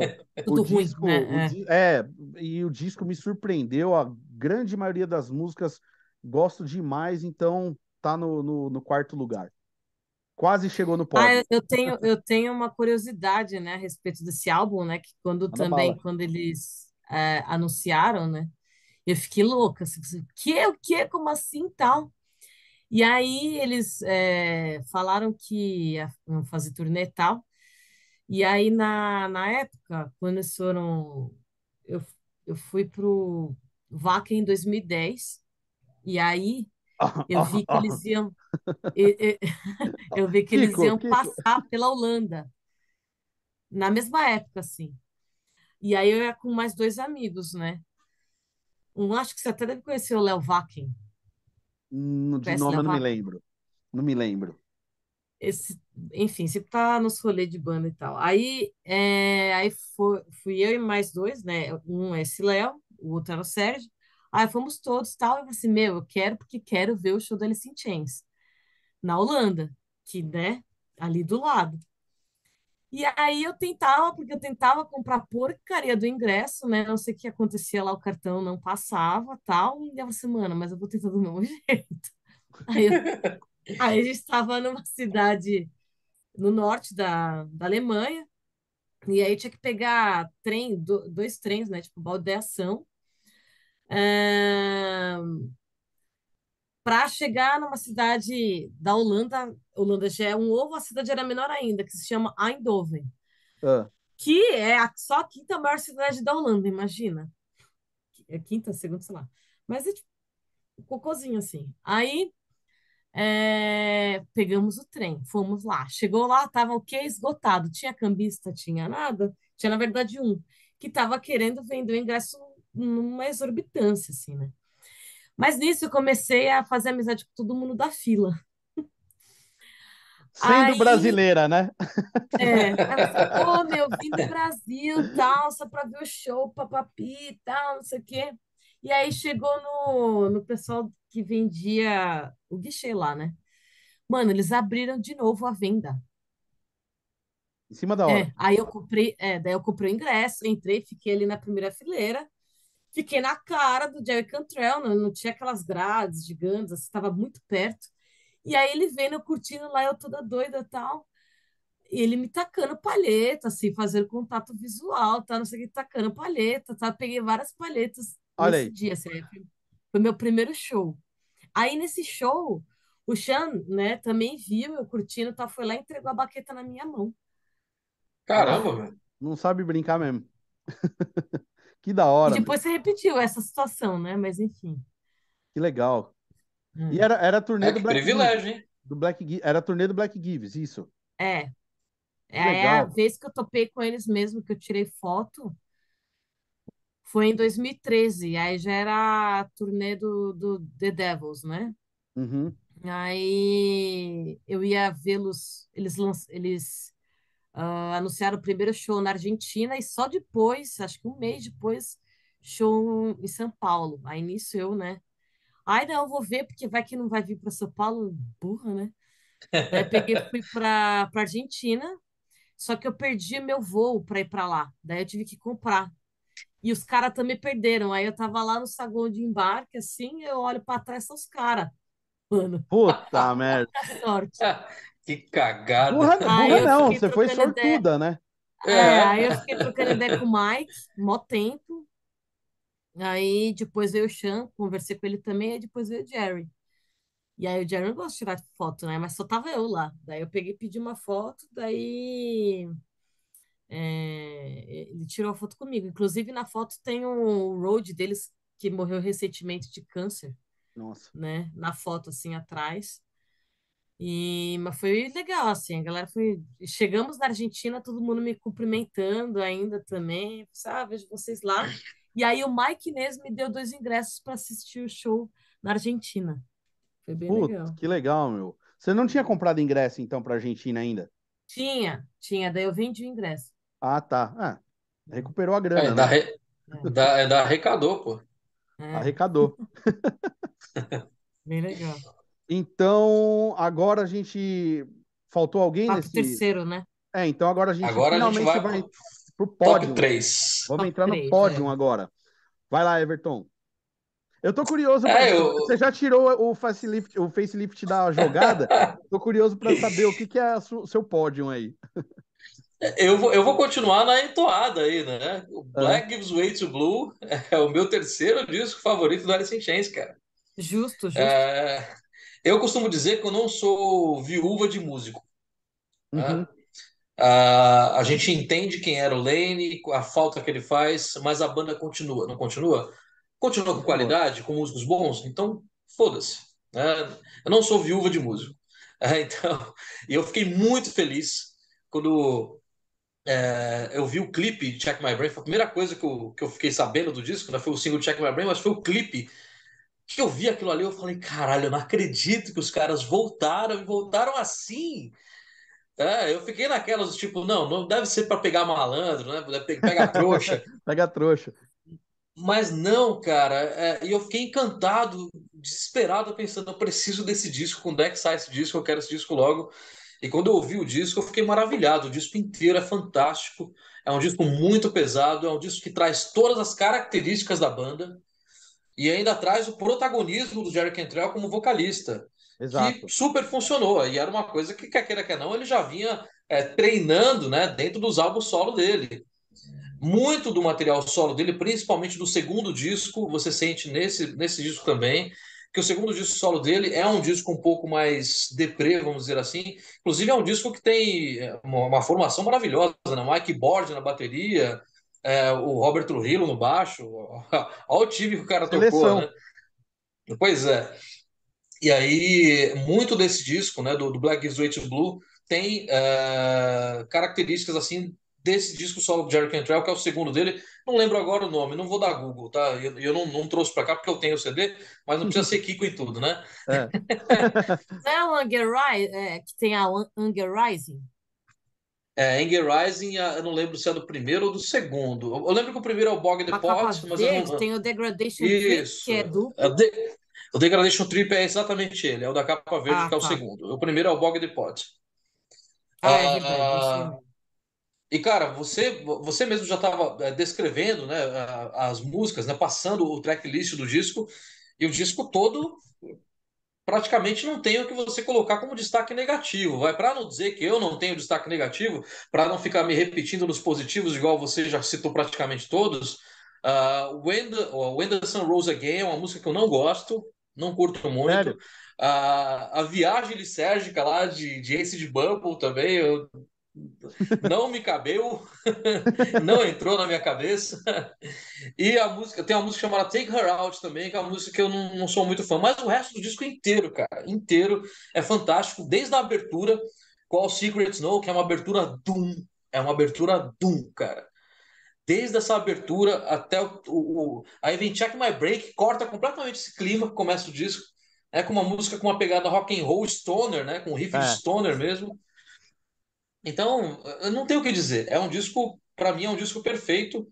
E só não é, só não é para mim o melhor disco do Alice in Chains, porque não é um disco com Lane. Né? Aí não é questão de ser viúvo, mas é questão de, é, digamos assim, ter um certo é, rancor de ficar colocando algum nome no lugar dele. não que o William Duval não mereça, mas, porra, é o Lane, né? Verdade. Vai lá, Rê. Meu terceiro. Medalha eu de coloquei bronze. o acústico. Eu coloquei o MTV Unplugged porque eu achei que até as músicas que eu achava meio mais ou menos ficaram melhores ainda nessa roupagem. Tipo a No Excuse, Got Me Wrong. É... Qual que era a outra? Uh, acho que é Sludge Factory também. Sludge Factory também achei mais é, legal. Heaven Beside ficou muito boa também. Um... Pô, eu fiquei curiosa se tivesse, por exemplo, Man in the Box acústica, como é que ficaria? E não tem, né? ficou. Não, não tem. Acho que todo mundo pensou, acho que todo mundo esperou, né? Quando ficou sabendo é. que ia sair um acústico do Alice in Chains, acho que todo É, mundo esperou. que sim também. Assistiu o acústico ali e ouviu Man in the Box e não rolou. E aí Eu achei bacana não ter aquela. rolado. É, É, é, não, sim, sim, sim. É, sai do comum clichê, ali, né? É, é, do clichê. E aí tem uma música que eu adoro, assim, que é, se chama Over Now, né? E acho que é uma dos, dos tops, assim, desse álbum, assim, né? E ela é bem, bem composta, assim. Yeah, it's over now. É, exatamente, eu gosto muito dela. Ahn, acho que é isso. Coloquei ela, Então, acabou o terceiro. então, mais uma vez a gente tem um outro empate. Também vou no Unplugged como terceiro lugar, meu medalha de Olha bronze. os empates aí. Começaram. É, meu, pegando o que o Everton falou lá atrás, é, eu só não falo que esse é o meu acústico da MTV favorito, porque eu ainda gosto mais do do Kiss, que para mim Claro, né? é. Até o Megadeth fazer um acústico. Não, mas É verdade. para bater o do Kiss é difícil, cara, principalmente pela, pela performance do Eric Singer, meu Deus do céu, e do Paul Stanley cantando absurdamente. Mas esse com certeza, com certeza, é o meu segundo acústico favorito da MTV. Como a Renata falou, teve várias músicas desse, desse, desse incluídas no, no, no setlist desse acústico que me ganharam porque eu não dava muita bola anteriormente, ou então gostava, mas não gostava tanto. Um exemplo, Sludge Factory. No Alice in Chains, Alice in Chains, ela me passou totalmente batida. Nesse acústico, ela se tornou uma das minhas favoritas. E principalmente porque aquelas melodias, aquelas onomatopeias lá que o Lenny Staley canta logo no comecinho, ele faz muito mais legal no acústico do que no, no estúdio. Então, é, é a Angry Chair, que eu era meio enjoado dela na época de tanto que estava sendo executada, né, como single, no acústico da MTV eu adorei a, a, a repaginada que eles deram nela. É... E, putz, Down in a Hole, legal pra caramba. A É, ficou Nutshell. Nutshell, sensacional. E a minha música favorita do Alice in Chains, nesse acústico da MTV, também ficou demais, que é a Wood. Eu adoro Ah, essa sim. música. Ficou Sim. linda mesmo. Ficou. E eu lembro que quando Pensei eu que você ia assisti... falar Heaven Beside. Não, não, não. Outra que eu gostei demais no acústico e eu não não não dava muita bola, Rooster, gostei demais. Uhum. Eu gosto de Brother. Brother, Brother. que é lo- logo, logo no início do show, né? É, é. Agora, as curiosidades desse disco. É, eu não sei se foi pelo estado do, do Lane Staley, que a gente já mencionou. É, a, a, a gravação desse acústico teve tantos erros que demorou três horas para esse, esse show, para essa performance ser concluída. Não sei se muita gente sabe, é, o Jerry Cantrell ele tocou doente esse show. É, eu ia falar disso. É isso Ele, mesmo. ele teve uma infecção por causa de um cachorro quente que ele comeu. Rapaz, tem alguns problemas intestinais aí, né? Se tratar melhor. Deve funcionar bem o intestino dele, né, eu acho. Mas, mas eu, por outro lado, eu penso, a performance dele foi tão boa, imagina se ele não tivesse doente, né? É. E até como a gente Vai ver, que- vai ver que não ia ser, né? Não ia pegar o clima. É, exato. Clima depressivo, de dor, É. tristeza. E Exatamente. na plateia desse show tava ninguém menos do que os caras do Metallica. Tanto Olha. que, o, tanto que eles ficaram de vez em quando tirando um sarrinho lá, tocando os inícios de músicas do Metallica. Isso caso, mesmo. Battery, Ah, é por exemplo, né? Era porque os caras estavam na, na plateia. E um- uma coisa curiosa, muita gente não entendeu, por exemplo, por que, que o Mike Ness tocou com baixo, com aquela frase. Eu não lembro ao Ah, certo, era por causa disso, né? era por causa É, amigo, tipo, amigos que são amigos não deixam seus amigos cortar o Cortar- cabelo, né? cortar o cabelo. Era uma indireta nos caras do Metallica, É, estavam vivendo, a- cortar cabelo, né? estavam É. vivendo a fase load, que tinham cortado os Load. cabelos, e ele deu uma cutucada, tirando o sarro dos caras que estavam na plateia, por isso que tem É. essa frase no violão. É. Então é, bom, a gente já falou bastante desse acústico lá atrás, como a gente estava falando, ao mesmo tempo que tem essa dualidade, né? Ao mesmo tempo que passou para a gente a- o que acabou sendo uma falsa impressão de um novo momento para Alice in Chains, era o retorno da banda aos palcos depois de dois anos e meio, né? É, mas também tem o lado meio depressivo, assim, de notar que o Lane Staley, ele estava realmente assim, bastante melancólico, né, por tudo que ele havia passado. Ele estava bem mais magro, meio, se você reparar, ele estava até meio sem cor, né? Nesse, É verdade, cara. Bem Né? pálido, né? bem pálido. Tava me fugindo dessa palavra. Ele estava bem pálido. E, mas assim, por outro lado, eu prefiro olhar o lado positivo disso, que foi um baita acústico. Os caras, é, a gente não, não conferiu os erros de gravação para saber, mas o que entrou, é, na- lembrando que o, o DVD do acústico saiu três anos depois só. É, mas assim, o alto nível das versões que eles prepararam em formato acústico, é, ao ponto da gente estar mencionando, né? um- Isso é difícil acontecer da gente pre- preferir novas versões às versões originais. E aqui a gente deu vários exemplos de, de músicas que finalmente ganharam a gente, né, nessa, nessa roupagem, né? Então, para mim, volto a dizer, meu segundo acústico da MTV favorito, baita acústico.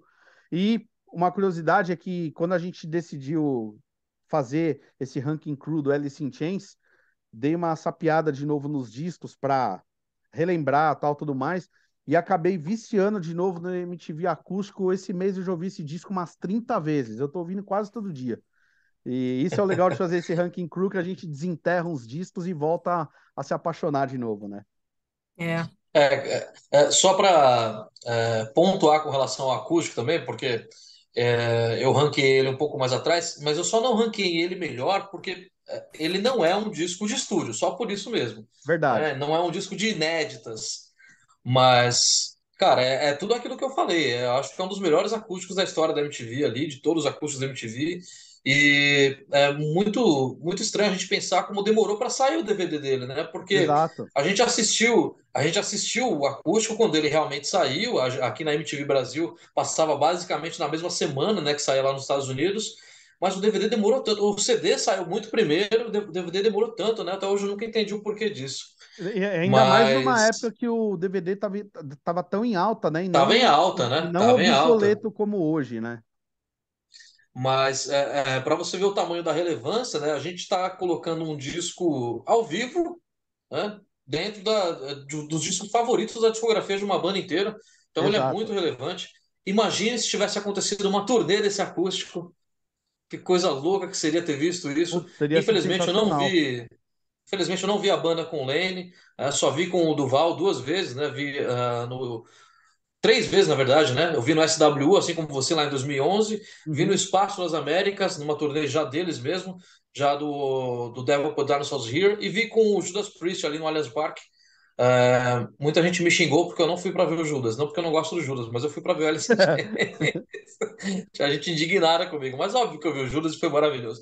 Então, mas infelizmente eu não vi com o Lenny. Teria sido uma turnê maravilhosa, né? Um acústico MTV pelo mundo, né? Com o Lenny Staley aí no vocal, mas ficou a falsa esperança mesmo, igual a gente falou.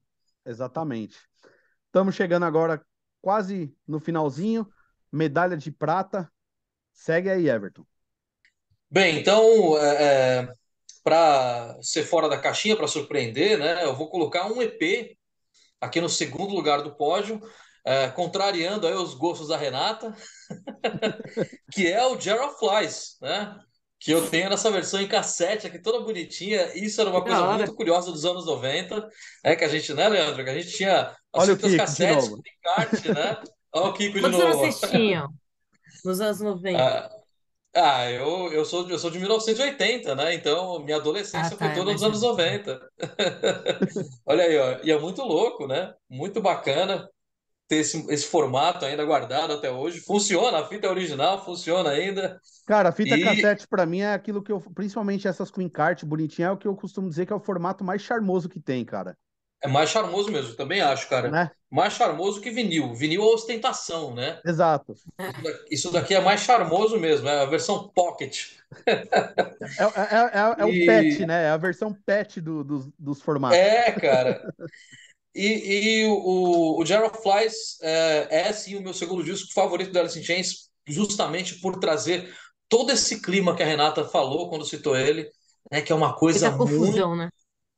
É, uma coisa, mas é uma confusão toda com um clima dark, depressivo. É, como você conseguir exprimir, é, é, exprimir tanta coisa densa num formato musical que não tem riffs, por exemplo, né? Que não tem é. distorção. E os caras conseguiram isso. Então é maravilhoso. Eu nunca vou esquecer, né? A primeira vez que eu vi o clipe de I Stay Away, né? com a, aquela ah, animação ah, stop motion. Pô, naquela época, né? Eu era novinho, né? Isso foi o que? 94, eu tinha 14 anos. Pô, você, você se encantava com aquilo ali, era inevitável não se encantar com aquilo ali. Né? No Excuses, né? Você via o clipe de No Excuses com os dois cantando, e aí todo o trabalho de harmonia vocal dos dois, né, que estava se sobressaindo ali, que estava ganhando destaque. Pô, é, eu acho maravilhoso, assim, é um, um trabalho que me encanta. Esse, esse sim, Leandro. Quando a gente falou de fazer aqui o ranking crew do Alice in Chains, quando eu fui pegar para repassar os discos, esse daqui foi o que ficou, né, que eu tive que ouvir pelo menos umas sete vezes assim, direto. eu não consegui deixar de ouvir, cara. E até agora eu tô, continuo, continuo ouvindo ele demais. É, eu, e não tem disco, é, não tem disco não, não tem música ruim no, no Jar of Flies. Tem, obviamente, destaque. É, Rotten Apple é um destaque para mim, sem dúvida nenhuma. Uma música que abre, né? Eu acho que talvez a melhor dele. Uh, a Nutshell, né, que ganhou uma versão linda no acústico, a gente já comentou, I Stay Away, a No Excuses. A No Excuses que tem essa coisa muito da Heaven Beside, que você, que você gosta uhum. tanto, Renata. Né? A No Excuses é um embrião desse tipo de formato ali. Então, para mim é isso. É meu segundo disco favorito da Alice não é um disco, é um EP, of Flies. Olha aí, outra vez surpreendeu, veio com, a, com deixando o facelift lá para trás e um EP em segundo lugar. Mas é isso aí, manda bala. Acho que, acho que a gente só vai falar a mesma língua no primeiro álbum, então, né? Pelo jeito, será que é isso? Ao que tudo tá indicando. vai lá, Rê. Há controvérsias. Meu segundo álbum, para mim, é o Dirt. Uh, para tudo, cancela, eu vou embora. Falou pra vocês, não quero mais gravar, não. Como assim? Meu, eu gosto muito do Dirt, né? Um, mas eu acho que, obviamente, que daí, né, por conta desses estudos, todo mundo já sabe qual é meu primeiro. Um, eu acho que não tem uma razão, talvez, aparente para colocar em segundo. Acho que só pelo Hum, Só eu porque tem que primeiro. É, porque acho que. Aí, bom, eu vou ter que fazer essa comparação, tá, Leandro? Falando o primeiro também. É, o facelift, para mim, é, é mais cruzão, né? E aí parece que eles estão despejando tudo que tem de criatividade, assim. Eles ainda não sabem, né? Fica dando uma flertada ali com alguma coisa do hard até, mas é, parece que o fato de eles serem super, ultra, mega jovens ainda lá, acho que eles tinham 21, um negócio assim, quando gravaram o Facelift, 23, alguma coisa assim, é, eles despejaram tudo que tinham de criatividade, era tudo muito cru, não tinha uma questão de produção muito em cima, você percebe até erro de, de tempo nas músicas, né, umas Percebe coisas mesmo. meio tortas e tal, mas tinha muita, muita liberdade criativa ali. O Dirt não, aí o Dirt ele já é um pouco mais coeso, já é um pouco mais, ah, vamos lá para essa, para essa, então ele já é mais produzido, então já caminha para um negócio pouquinho mais plastificado ali, vai, né, direcionado ali, né? Então acho que é, acho que é mais pelo por essa liberdade criativa assim, comparando o primeiro com o segundo. Mas eu amo os dois álbuns, os dois me, enfim, é isso. Mais uma vez eu empato com a Renata, então. Meu segundo colocado é o Dirt também. Ah, vá, dá meia hora para quem tem tempo, eu tô ocupado, vou embora. É, o, o Dirt, para mim, ele é um álbum que.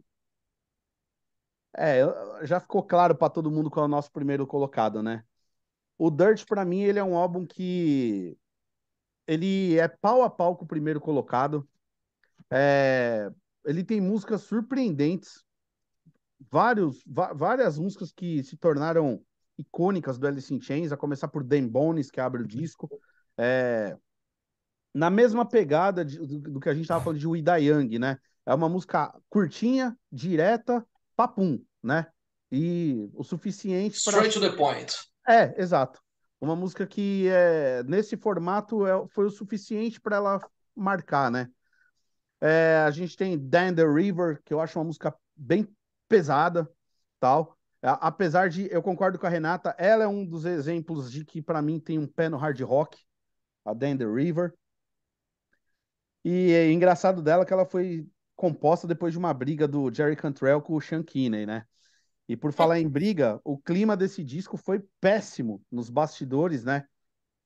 Nos bastidores, o Jerry Cant o, o Lane Staley já estava passando por vários problemas com, com, em relação às drogas, tinha saído da reabilitação, é, saiu da, da, reabilitação por causa de álcool, só que caiu na cocaína, né? E em contrapartida, o Sean Kinney e o Mike Starr já estavam dando problemas com álcool também, né? Nessa fase, voltando a falar o que a gente falava lá atrás, o Alice in Chains sempre foi a banda ali de Seattle mais grudada com o pessoal do, do metal, que sempre fez amizade com essa galera. Tanto que na turnê do, do, do, do, do Dirt, eles estavam abrindo a turnê do No More Tears do Ozzy Osbourne. É. Veja só, né? O Alice in Chains pegou turnês com, no, na Clash of the Titans com Megadeth, Slayer e tal. No disco seguinte foi fazer turnê abrindo pro Ozzy. É, que foi aí que rolou o primeiro flerte da banda com o Mike Innes, né? Vamos exatamente, exatamente. Ia falar isso. É. E, e, e, foi nessa turnê que eles vieram ao Brasil tocar no Hollywood Rock, naquela edição lendária que teve o Nirvana, o Red Hot Chili Peppers, o Dr. Sim fazendo a sua estreia sem ter disco gravado.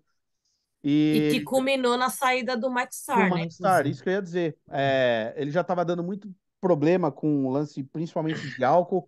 E veja só, né? uma banda que estava tendo problema com, com o vício mandou o cara embora porque não aguentaram o cara. Então, imagine o nível que a coisa tava. Infelizmente, a gente viu lá na frente o Mike Starr participando daquele programa, é, acho que era Celebrity Rehab, uma coisa assim, que era com o Dr. Drew, né? E era uma pessoa que, vendo naquele programa, era deprimente ver o quanto ele estava entregue ao álcool, o quanto ele pastou com a abstinência, o quanto ele não quis abrir mão disso, né? E no ano seguinte do programa, o Mike Starr faleceu. Faleceu. E, e foi bem isso. Saiu na época do, do Dirt. Depois que ele saiu do Dirt, ele se envolveu com um projeto que chamado Sun Red Sun, que tinha vários músicos putz, de primeira linha ali. O Ray Gillen, né? Saudoso vocalista também que faleceu de AIDS. Teve uma passagem pelo Black Sabbath.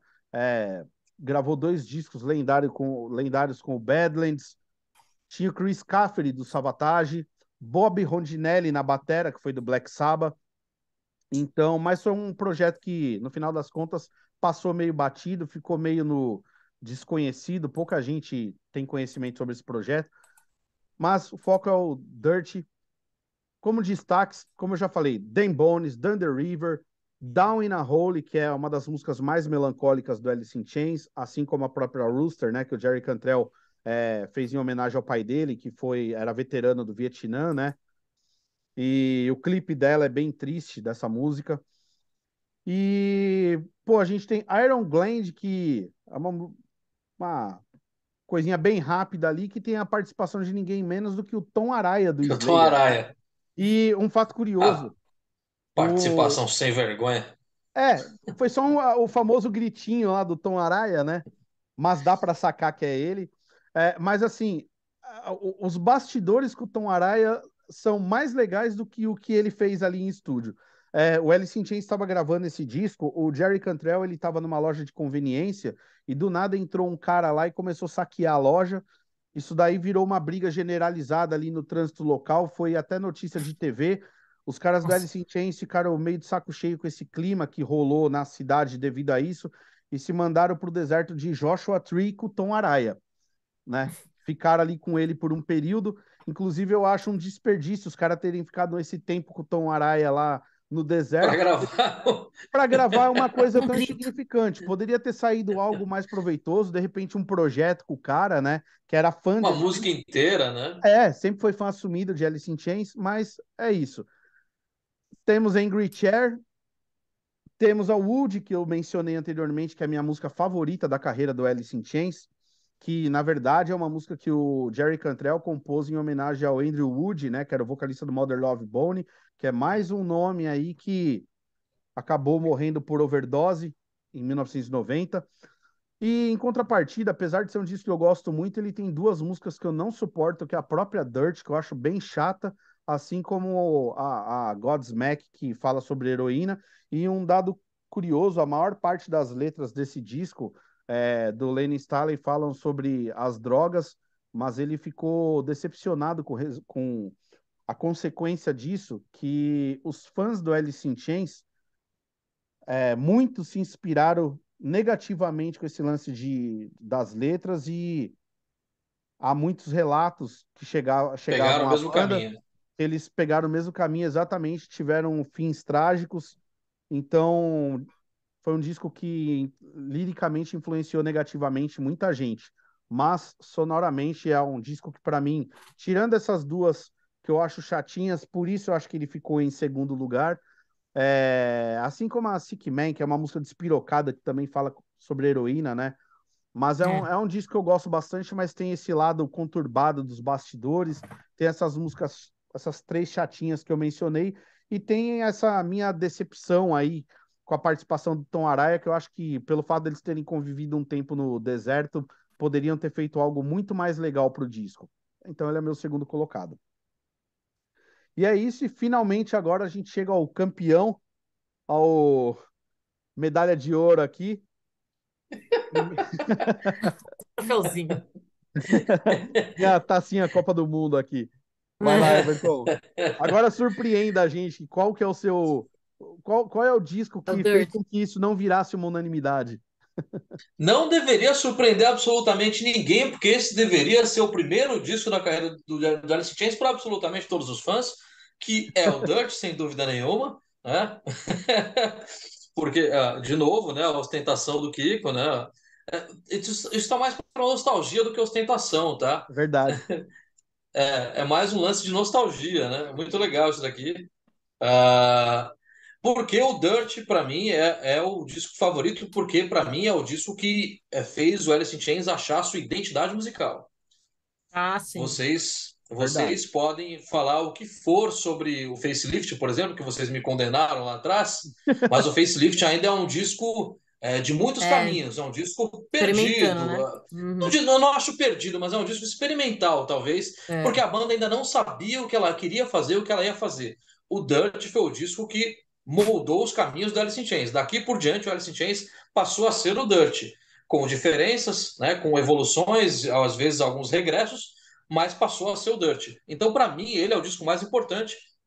E por ser o mais importante, obviamente, ele merece o primeiro lugar. É, é o disco que realmente moldou a música do Alice in Chains. É, o que a gente conhece de Alice in Chains vem desse álbum aqui, não vem de nenhum outro. E aí, para mim, é inevitável que ele seja o primeiro lugar, sem dúvida nenhuma. Vai lá, Rê. O meu é o facelift. É, que a gente tinha comentado, né? Realmente é experimental, porque é o primeiro, primeiro álbum deles, então acho que eles estão testando aí o que, que eles iam querer seguir e amadurecer como banda. Eu gosto muito da música Sunshine, que acho que ele fez em homenagem à mãe dele, né? O Jack Cantrell. É, É isso aí mesmo. e, e o que, eu- que me atrai muito no álbum é essa liberdade criativa, né? Que acaba sendo normal quando você faz um segundo, terceiro álbum, é que você já começa a ter um direcionamento, assim, um pouco mais Definido. focado mesmo, né? É, o primeiro álbum fica essa experimenta, experimentação, acho que fica para toda a banda. Quando começa, faz um primeiro álbum ou um EP, é, tá nisso, né? Para depois começar a seguir o que, que realmente é a identidade da banda, né? Então é isso. Bom, meu primeiro lugar também, mais um empate com a Renata, Facelift. Para mim é um disco sensacional. Eu lembro quando esse, quando eu que sou mó fã de hard rock, de thrash metal, de death metal, quando o Nirvana apareceu, é, eu, eu fui da turma que fiquei puto, para falar bem a verdade, porque eu não curti a sonoridade da banda. E você é hard também, né, amigo? Você, você ama hard. Sim, sim. É, não curto Nirvana até hoje. É uma banda que para mim eu- eu- não, não, não desce. É, não curto Pearl Jam também, apesar de eu achar o Pearl Jam bem melhor que o Nirvana. Vou tomar hate bem na última, no último lugar, mas enfim. O que, aí, por que, que eu gosto muito de Alice in Chains e muito de Soundgarden? Porque ao contrário do Nirvana, por exemplo, eu acho bandas muito mais musicais, Sim. vocalistas melhores, instrumentais melhores, bandas menos relaxadas ao vivo. É, E Tem uma preocupação ali, né?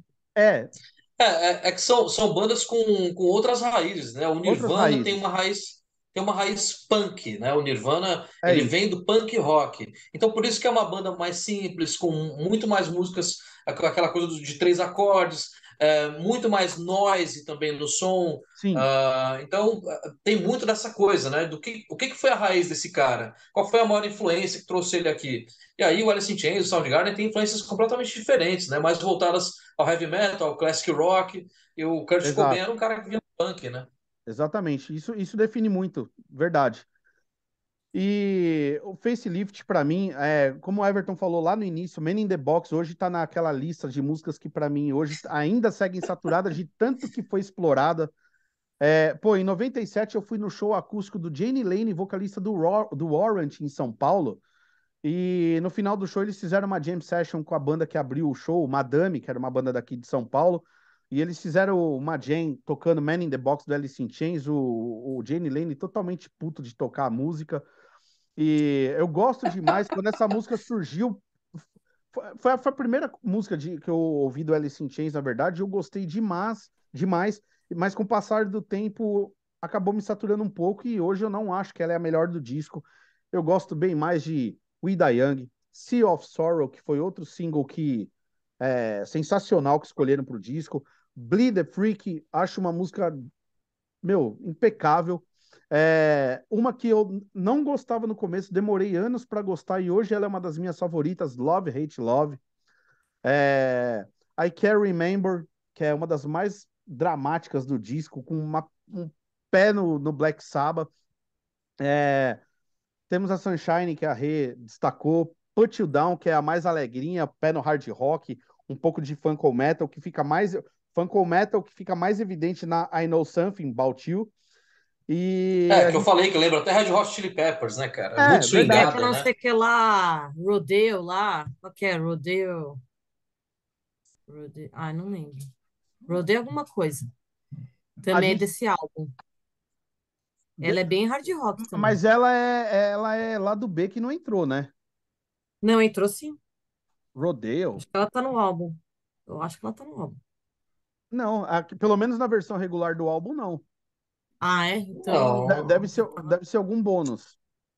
Desses bônus, é que eu mais gosto é a Dyad. Eu adoro aquele riff Black Sabbath dessa música. Eu lembro desse nome que você mencionou, mas eu não tô lembrado da música, mas ela não tá na versão regular. É, acho que é Queen of Rodeo ou alguma coisa assim. E, e, e... uma coisa engraçada desse disco, a faixa que encerra ele, a Real Thing, ela no final dela, ela tem o, o Lane Staley, ele, ele fala uma frase sexual, sexual chocolate baby, que ela nada mais é do que tirada daquela banda chocolate sensual do filme Um Príncipe em Nova York. Então, Nossa, é, foi fazendo uma menção a essa banda que ele fala essa frase no final. E eu, eu dou risada quando eu ouço porque é, a banda Chocolate Sensual, eu sempre dou risada quando eu lembro. E, pô, é, mais uma vez, né, a gente falando, nesse primeiro disco, o Alice in Chains já flertava bastante com as bandas de, de, de, de outros estilos, do heavy metal, do hard rock, tanto que eu até anotei aqui, nessa tour, além deles terem feito a Clash of the Titans Tour com Megadeth, Slayer, Anthrax, é, pô, eles saíram em turnê com Van Halen, com Poison, com Extreme, com, com Iggy Pop, então você vê que o Alice in Chains ele não estava preso ali naquele movimento de Seattle, eles estavam é, fazendo amizades e sendo bem aceitos por gente de todas as vertentes, né? Então, tem até bandas de death metal que os caras são fãs de, de, de, de do, do Alice in Chains e tal. O então, né? Um exemplo. É, exatamente. Então, é uma, uma, uma, uma, um disco que eu gosto bastante. O Mike Starr teve uma, um trabalho, uma performance brilhante nesse disco. O baixo é bem destacado. E uma curiosidade é que o Sean Kinney gravou esse álbum com a mão quebrada. Acredite se quiser. Ah, eu não sabia disso não, cara. É, Também ele, não. Ele gravou esse disco com uma das mãos quebradas, ele ficava sempre com um balde de gelo do, do, do lado dele, ele quis gravar o disco mesmo assim, não quiseram contratar um batera, e você ouve o disco você nem fala, né? Porque a performance... Nunca que você vai dizer. É. Exatamente. É. E é isso, é o meu primeiro colocado também é o Facelift. É, o facelift que tem uma, tem uma sequência inicial que é uma das mais matadoras, né? É, é With the Young, Man in the Box, Sea of Sorrow e Bleed the Freak. É uma sequência, assim, a gente já se incomoda com a Man in the Box, mas se você pega a sequência toda, escuta esse quarteto ali que abre o disco, é sensacional, cara. E é como você falou, a gente gosta pra caramba de Man in the Box, é só uma questão de a música ter saturado um pouco por ter tocado bastante, né? Exatamente. E é isso aí. Então, para finalizar, é, a gente já fez, já passou todo o nosso ranking. Vamos então à escolha da nossa capa favorita de cada de, do, do Alice in Chains, né? Mantendo a ah, vamos só, vamos só fazer uma menção honrosa aqui para uma Sim. música chamada What the Hell Have I, que vocês devem What conhecer. Da trilha sonora. De 1993, da trilha sonora do Last Action Hero. Exatamente, o último grande herói. Que é um filme que tem a trilha sonora maravilhosa, né, cara? A trilha sonora inteira é sete vezes melhor que o filme. O filme também é legalzinho, mas a trilha sonora é fantástica. Tem, tem Megadeth, inclusive, na trilha. Megadeth, Def Leppard, Queen's Reich. Esse de si. É, bom né? Tem o Cypress Hill também, né? É isso mesmo. E, cara, What the Hell Have I é uma música fantástica que não entrou em nenhum disco do Alice in Chains Pesadona. e tá na trilha desse filme. Bem lembrado. Pesada. Então vai lá, Everton. Qual a sua capa favorita do Alice in Chains? Cara, eu vou te falar que foi uma coisa que eu não pensei, viu? Eu não, não fiquei programando assim. Eu falei, ó, vou levar todos os discos, eu vou, escolher na hora. É, então, todos aqui na minha mão. Não sei, eu, eu acho que é, a mais marcante em termos de arte mesmo, tá? Não vou ficar falando por qual disco, X ou Y, em termos de arte mesmo, acho que a do Black Gives Way to Blue, cara. Tá. É, esse, esse coração, inclusive me influenciou, Ah, eu fiz uma, é, é lindo eu fiz uma tatuagem de um coração, que na legal. época me influenciou a ideia, uh, eu acho uma das mais marcantes, mas não é o melhor encarte, tá? O melhor encarte é o, o do, do Alice in Chains, Alice in Chains, né? O do, do cachorrinho de três patas, tem um encarte sensacional, a arte do encarte toda é muito fantástica, apesar da capa ser aquela coisa bizarra. Mas eu acho essa capa mais bonita do Alice in Chains, cara. Black gives way to blue. Vai lá, Rê. É, eu acho que eu concordo com ele, pelo mesmo motivo. O, desenho, assim, é bem tatuável, digamos assim. Ó, eu confesso que da fase Duval, eu, sinceramente, eu não gosto de nenhuma das capas. Principalmente a do Rainier Fog, que eu acho tão feia quanto a do Alice in Chains e Alice in Chains. Horrível, né? É, é, sei lá, essa capa do Rainier Fog me lembra uma coisa meio Joy Division, em termos de, Ah, sim. de design. É, E eu fiquei em dúvida entre duas capas, a do EP Jar of Flies e a do Facelift. Mas eu acho que por, por- quando se fala Alice in Chains, a primeira coisa que vem na minha cabeça é a capa do Facelift.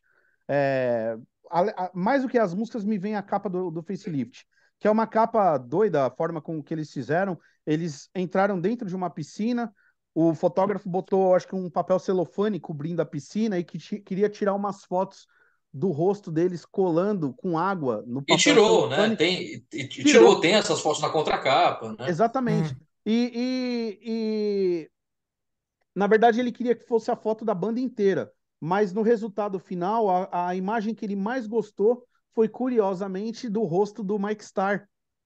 E apesar de muita gente quando fala em Alice in Chains lembrar sempre do Lane Staley e do Jerry Cantrell, que são os dois, vamos dizer, os cabeças, sei lá, os caras que faziam os duos vocais, o Mike Starr, que era um cara que não é tão lembrado, é a capa do primeiro disco do Alice in Chains. Fica aí essa curiosidade.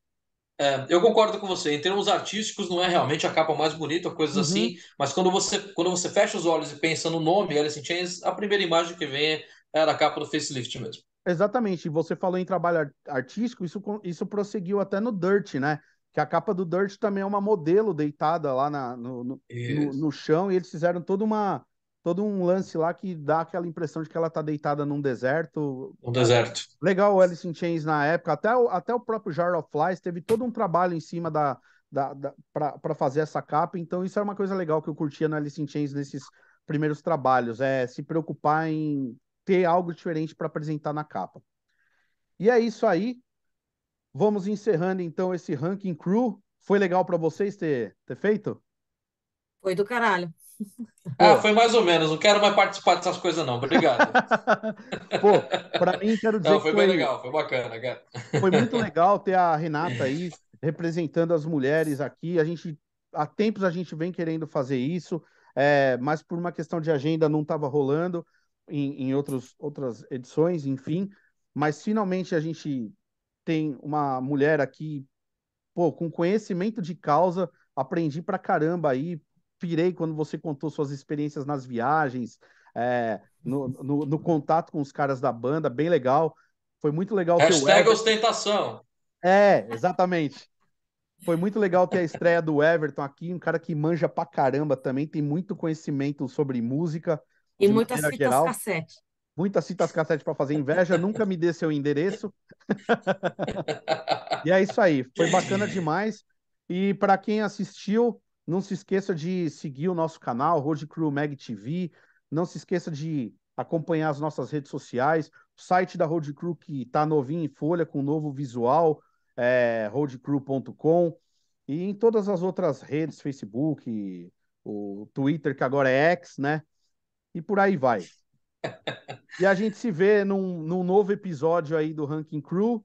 Não se esqueça também que de quinta-feira a gente tem a exibição do, do quadro Batalhas de Álbum, faixa a faixa. E é isso aí.